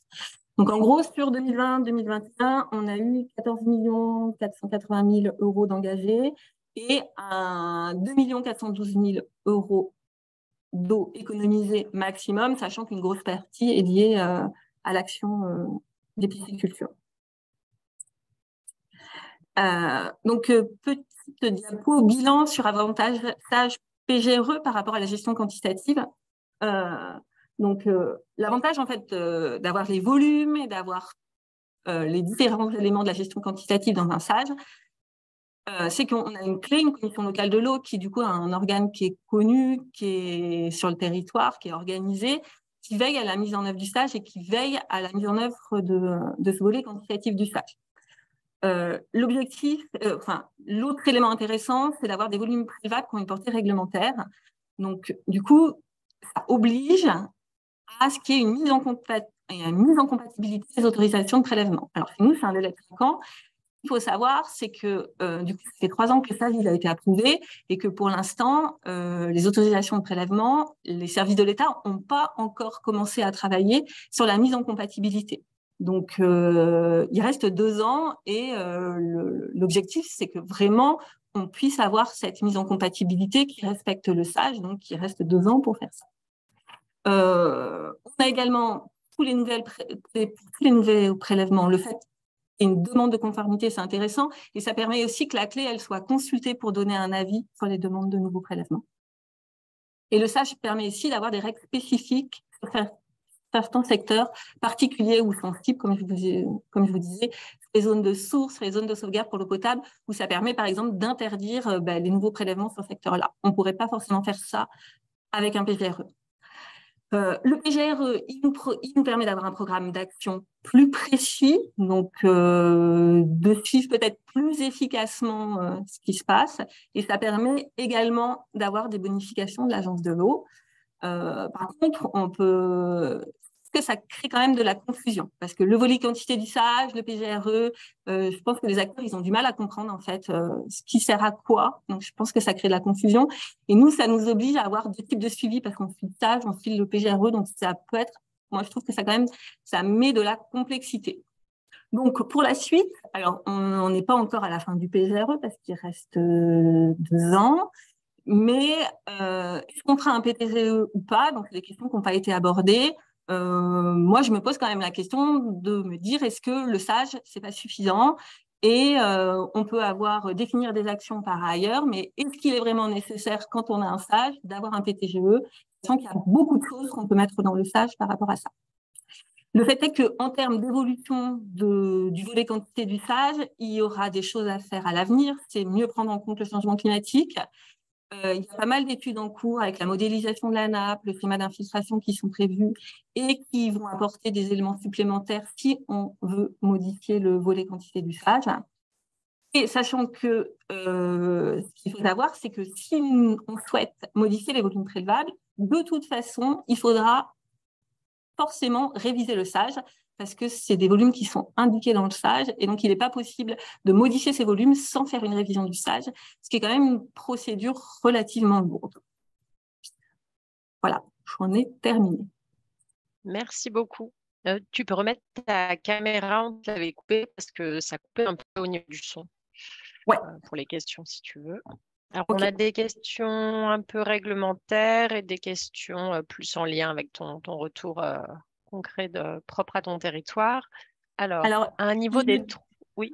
il me dit que je ne peux pas remettre la caméra parce que c'est toi qui l'as arrêté. Ah, alors attends. Euh, ah est-ce que Nicolas est là? C'est bon, parfait. Merci bien. à un niveau des trois collèges de la clé, est-ce que le nombre de représentants par groupe est défini à la construction du SAGE ou dépend d'une obligation réglementaire? Euh, il y a une obligation réglementaire, c'est qu'il faut au moins 50% d'élus, euh, au moins 25% d'usagers, et le reste, c'est les services de l'État. Et en fait, euh, après, lié à ça, ça peut être variable, en fait. Voilà. Il faut juste respecter ça, c'est marqué dans le Code de l'environnement, et après, c'est un arrêté du préfet, mais la clé, elle peut faire des, des propositions pour faire des modifications si besoin. Que deviennent les eaux de pisciculture en sortie de bassin? Elles sont rejetées dans des cours d'eau. Sachant qu'il y a un projet là, des, irrigants et des pisciculteurs de voir s'il n'y a pas une partie des eaux rejetées par les piscicultures qui pourrait être réutilisée pour l'irrigation. Donc là, il y a une étude de faisabilité qui va être engagée sur le sujet. Mais actuellement, ça va tout au cours. Donc en fait, les piscicultures font du soutien d'étiage, hein, en fait, sur le bassin versant, pour le coup. Euh, sur les territoires ne disposant pas de SAGE, comment la gouvernance d'un PTGE est-elle mise en place? Est-ce qu'il existe des exemples sur le bassin RMC Alors peut-être peut-être que peut-être l'agence de l'eau. Peut-être répondre. Donc c'est ce que j'ai présenté dans, la présentation introductive sur les sur les 23 PGRE qui sont en cours sur euh, Rhône Méditerranée. Il n'y en, a que 6 qui sont dans le cadre d'un SAGE. Tous les autres sont portés par euh, des collectivités, donc soit des syndicats de rivières, soit des intercommunalités. Donc, euh, dans ce cas-là, eh ben, c'est euh, exactement la même chose. C'est le porteur du PGRE qui a été identifié au moment de son élaboration, qui est donc souvent un syndicat de rivières, qui réunit toutes les parties prenantes au sein de comités de pilotage. et c'est ce même comité de pilotage qui a adopté le PGRE. Et le pilote global, c'est souvent c'est ce qu'a dit le décret gestion quantitative de 2021, c'est les services de l'État qui, quand il n'y a pas de porteur, cherchent euh, un porteur de PGRE sur les territoires concernés, ce qui est le cas sur, euh, euh, dans, la Drôme. Les quelques PGRE qu'on n'a pas réussi à mettre en place, c'est parce qu'aujourd'hui, on n'a pas de porteur sur les territoires. On peut aussi parfois se retourner vers des syndicats d'eau potable quand l'enjeu est spécifiquement eau potable. Donc, sur RMC, la, pratique la plus répandue, euh, sur les porteurs de PGRE, c'est qu'il n'y ait pas de sages finalement. puisqu'on n'a que 6 PGRE sur lesquels on a des sages, sur la partie Rhône. Merci. Est-ce que les volumes prélevables et le programme d'action euh, ne sont opposables que s'ils sont intégrés à un sage? Mais alors, du coup, le, alors, le programme d'action, nous, il est vraiment dans le PGRE, en fait, hein, pour le coup. Mmh. Euh, les volumes prélevables, euh, alors les, enfin, le stage a une vraie portée réglementaire qui n'a pas le PGRE en fait. Après, euh, l'agence de l'eau pourra peut-être donner des éléments supplémentaires par rapport à ça.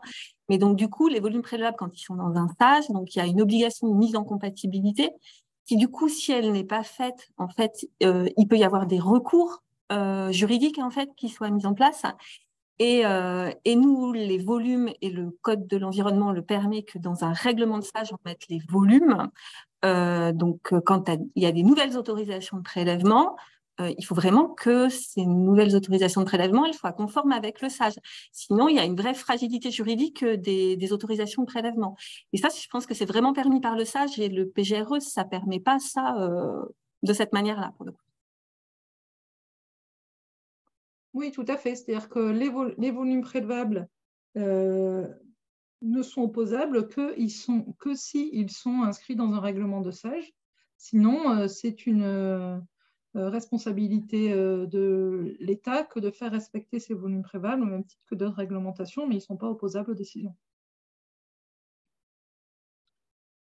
Euh, est-ce que les agences de l'eau prévoient des études bilan évaluation des PGRE, PTGE, à l'instar des études bilan des contrats de rivière SAGE pour, RMC, après, je laisserai Thomas compléter de son côté après. Euh, pour Rhône Méditerranée, euh, il est prévu que les structures porteuses réalisent des bilans tous les 5-6 ans euh, de la concrétisation des actions, de l'atteinte des objectifs et du respect des volumes prévables ou pas sur les 6 années de déclinaison du PGRE. Donc, ça veut dire que tous les 6 ans, on se repose la question de est-ce que le niveau d'ambition était suffisant? Est-ce qu'on a atteint les objectifs? Est-ce qu'il ne faut pas revoir ces objectifs? Au regard bah, notamment de l'intégration d'éléments climatiques donc, ce n'est pas l'agence qui porte ces études, c'est bien les territoires euh, qui portent les PGRE, qui doivent faire un bilan évaluation, qui est financé évidemment par les programmes d'aide de l'agence, mais ce n'est pas l'agence qui porte les études. Euh, est-ce que Thomas, tu voulais compléter? Je ne sais pas si tu es encore là. Oui, euh, juste dire que c'est effectivement les, les, les préfets référents qui donneront notamment euh, les, les, échéances de, révision de ces PTG. Alors, sur leur Bretagne, on a un quin pour le moment qui est validé, mais effectivement, l'agence accompagnera euh, bah, le, temps d'animation, les études nécessaires, euh, sachant que la majorité des actions du programme d'action seront mises en œuvre dans le cadre de contrats territoriaux qui, eux, feront l'objet d'évaluation euh, euh, sur bah, les temps des contrats territoriaux qui sont actuellement de six ans mais, l'agence qui accompagne euh, l'animation, l'émergence des, démarches PTGE euh, financera également ben, les, études bilan nécessaires. Merci. Euh, il y avait une réponse donc par rapport à l'opposabilité du PGRE. Donc, un seul cas de SAGE, euh, l'ANAP de l'Astien où le PGRE est une annexe du SAGE, donc opposable. C'est Evelyne Lacombe qui, qui expliquait ça.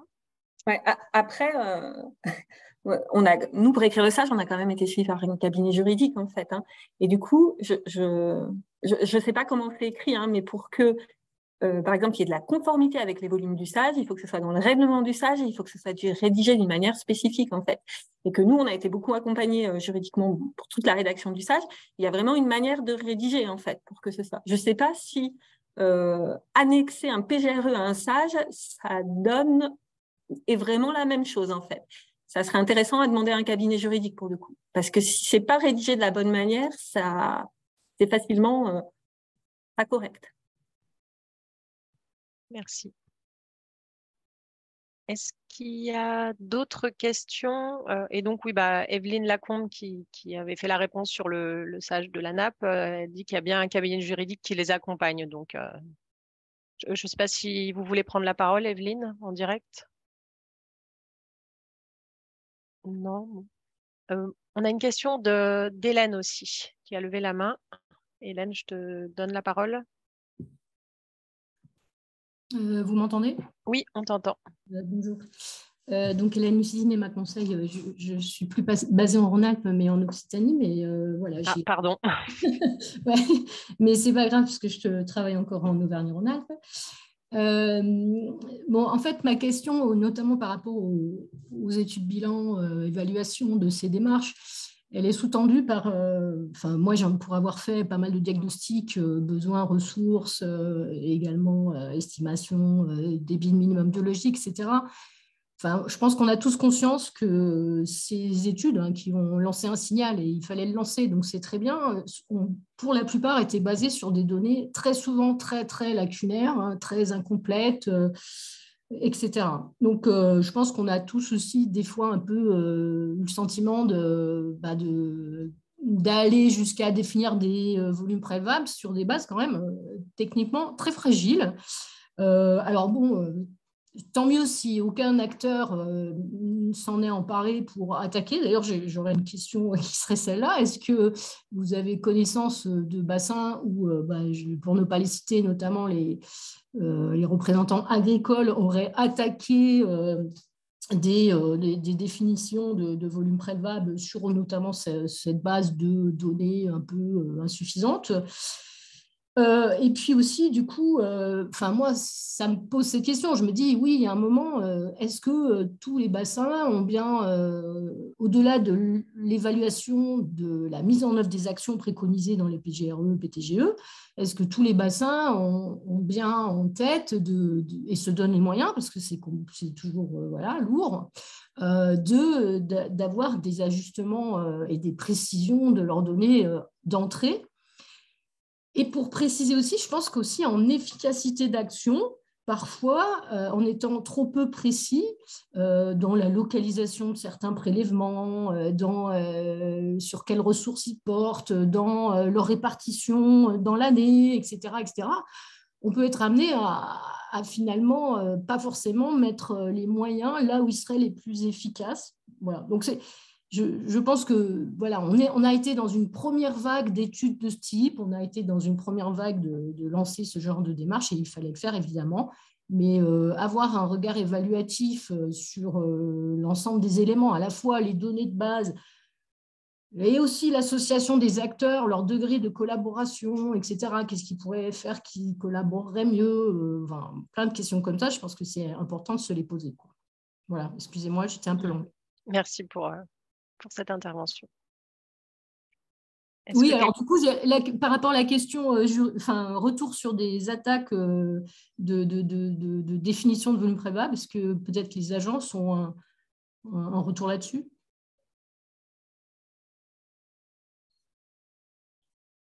Sur, euh, sur bretagne c'est l'autorisation unique de prélèvement sur le marais Poitevin qui a été attaquée. Notamment par les associations de protection de l'environnement. Euh, après, sur, les VP en tant que. C'est pour des questions d'incompatibilité euh, au VP notamment, mais, les VP en tant que tels, j'en suis pas sûr, en tout cas, j'en ai pas connaissance. Euh, juste un, petit point, du coup, je, reviens sur ce qu'a dit tout à l'heure. Effectivement, le, le, PTG, je pense que la solution du gouvernement et le ministère est assez claire sur le fait que ça n'a pas de portée réglementaire.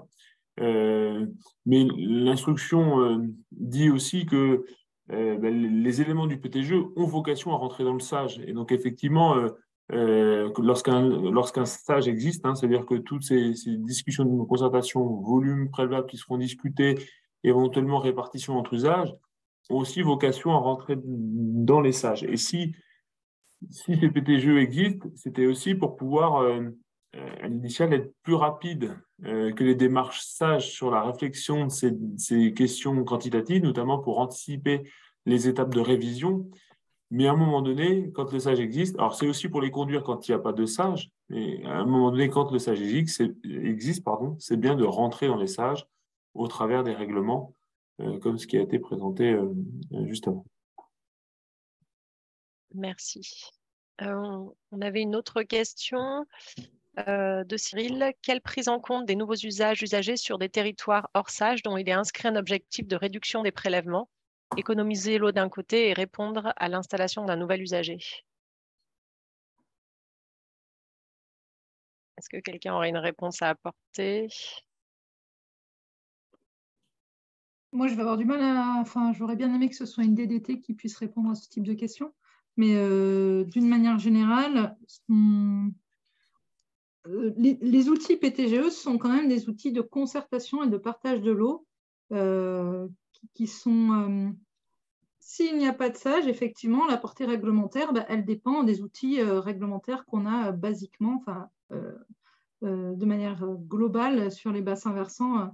donc, c'est-à-dire le, pouvoir réglementaire que peut avoir une DDT et sa capacité à autoriser ou pas des nouveaux prélèvements, tout ce qui est outils de partage de l'eau dans le monde agricole avec les organismes uniques de gestion, de gestion collective de l'irrigation, où là, il y a un partage de l'eau qui est validé par la, force préfectorale ou pas sous la forme des AUP dont parlait Thomas. et ensuite, bah, soit il y a un sage qui dit un règlement, et là, il y a une opposabilité, en tout cas, le volume, il est dans le règlement, et donc il faut le faire respecter, il s'oppose aux décisions administratives prises dans le domaine de l'eau. Euh, sinon, euh, bah, c'est euh, de la concertation, du partage, des bilans annuels qui montrent qu'on est en train de dériver et qu'il y a une pression de prélèvement qui augmente alors qu'on était sur un objectif de réduction. Et on n'a voilà, on a, on pas d'outils qui vont. C'est vraiment un outil de concertation et de partage. Et de, quand on n'a pas de pouvoir réglementaire précis lié à un sage, c'est ben voilà, les, prélèvements continuent d'augmenter alors qu'on avait dit qu'ils devaient diminuer.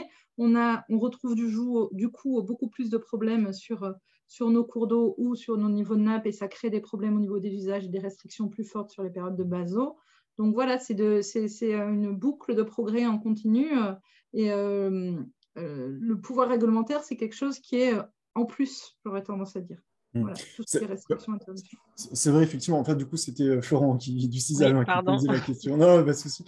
Euh, c'est vrai que nous, en fait, on se rend compte, euh, on se rend compte de plus en plus que, bah voilà, vous avez, enfin, vous avez pu voir ce qu'on met en place, en tout cas sur, sur nos territoires. Et puis aujourd'hui, on a de plus en plus ce phénomène où on a, heureusement, d'ailleurs, d'exploitants agricoles qui s'installent.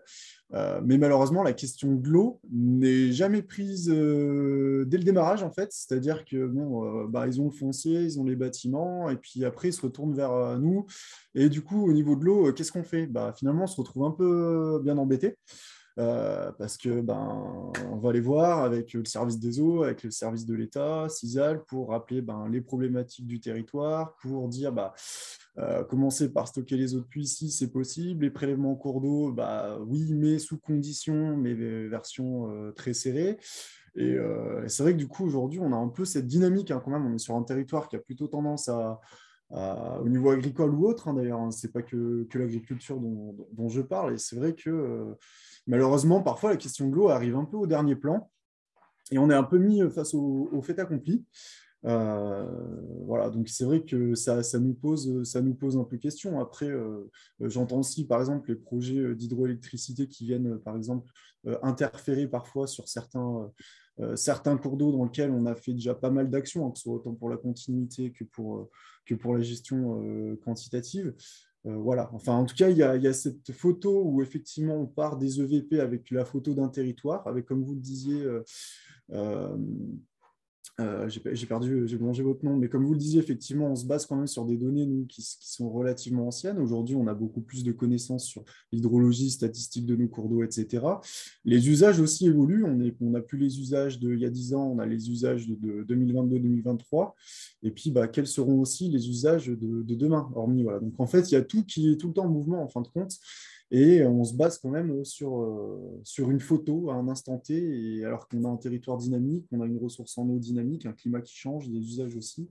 Et voilà, c'était un peu le sens du coup de ma question, se dire finalement, euh, euh, voilà, se dire que c'est pas juste une photo euh, statique et qu'il faut, euh, voilà. Donc nous, comme tu le disais, Eve, effectivement, c'est vraiment du cas par cas avec la réglementation courante. On n'a pas de sage, donc est-ce que le projet est compatible vis-à-vis de l'état de la ressource? Oui, non. Vis-à-vis de, la, loi sur l'eau, vis-à-vis de, des prélèvements, forages, etc. Donc on arrive toujours entre guillemets à réussir à, intégrer un nouveau projet un nouvel usager, en tout cas, euh, dans un territoire qui pourtant était en, déficit, parce qu'aujourd'hui, on a le réseau d'eau potable qui permet euh, de, qui est alimenté depuis la nappe, qui permet de répondre à, cet usage-là. Donc, euh, c'est assez compliqué. En tout cas, c'est quelque chose qu'il faut, qu'il faut bien avoir en tête, que voilà, c'est quelque chose de dynamique aussi. Alors, j'ai une bonne nouvelle, on a une DDT dans la salle. Je vais vous donner la parole. Oui, bonjour, vous m'entendez? Oui, on vous entend bien. Oui, donc Emmanuel, Emmanuel Cuniberti, donc moi je suis à la DDT de l'Isère, voilà, sur, en charge d'une unité euh, police de l'eau sur les prélèvements. Et effectivement, pour répondre à la question euh, des territoires hors sage, euh, généralement, nous, les objectifs de réduction de prélèvement, on ne peut les avoir que sur des territoires où il y a eu des études de volume prélevable qui ont été réalisées. sinon, après, effectivement, on, on peut avoir la suspicion d'un territoire où euh, on a peut-être des problématiques de ressources quand on fait notre suivi, euh, notamment en période d'étiage. mais généralement, c'est qu'on a une étude volume prélevable. Donc, quand on a une étude volume prélevable, ben, on a un PGRE, donc avec ou sans sage, et quand on a un PGRE sans sage, eh ben, on a quand même le même objectif d'essayer de réviser les autorisations pour rentrer euh, dans les objectifs du PGRE. Euh, voilà, donc après, l'étude volume prélevable a quand même été notifiée par le préfet de bassin, donc ça, fait partie de nos, nos, lettres de mission. Quoi. Donc on doit essayer de, de, de, bah, concerter avec, euh, avec les usagers pour essayer de, de, réviser les autorisations.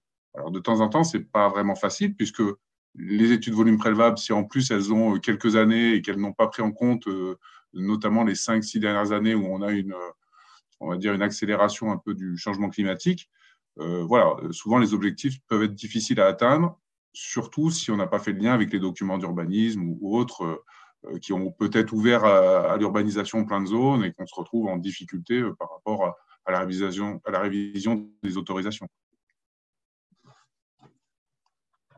Très bien, merci pour, pour ces compléments.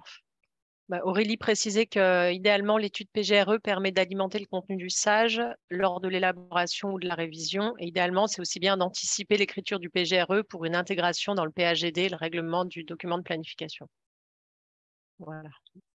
Euh... Là-dessus, sur les différents cas de figure que je connais, là, euh, le PGRE, c'est quand même un outil qui est beaucoup plus, enfin, c'est un document qui est beaucoup plus détaillé et opérationnel normalement que ce qu'on va retrouver dans un, dans un PAGD euh, de stage, après, on voit bien qu'effectivement, il y a des PAGD qui sont très, très détaillés avec beaucoup de dispositions et on retrouve en intitulé les mêmes grands types d'actions que dans le PGRE.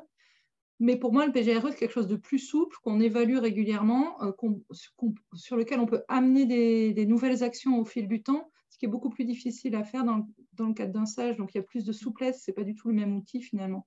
Je ne pense pas que l'un remplace l'autre. Ne peut pas se passer euh, de l'un ou de l'autre parce qu'il y a un sage ou pas un sage. Ils sont complémentaires comme outil. Merci Eve.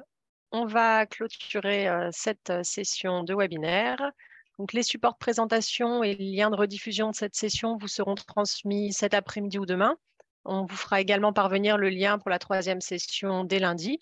Je vous rappelle que les liens de revisionnage et les présentations vous seront envoyés assez rapidement dans les jours qui viennent que les inscriptions restent ouvertes jusqu'au 2 février inclus, que l'inscription vous permet de participer directement aux quatre sessions et ou de revisionner les sessions en ligne par la suite.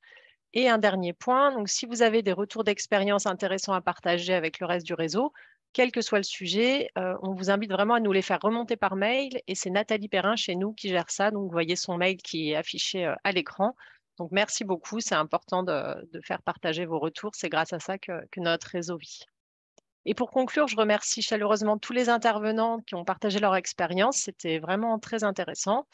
On remercie aussi les participants. On espère que ça vous a apporté euh, ce que vous étiez venu chercher, ce que vous attendiez et que ça sera utile pour la suite euh, sur vos territoires. Et on remercie également euh, les agences de l'eau Rhône-Méditerranée-Corse et Loire-Bretagne qui financent cet événement.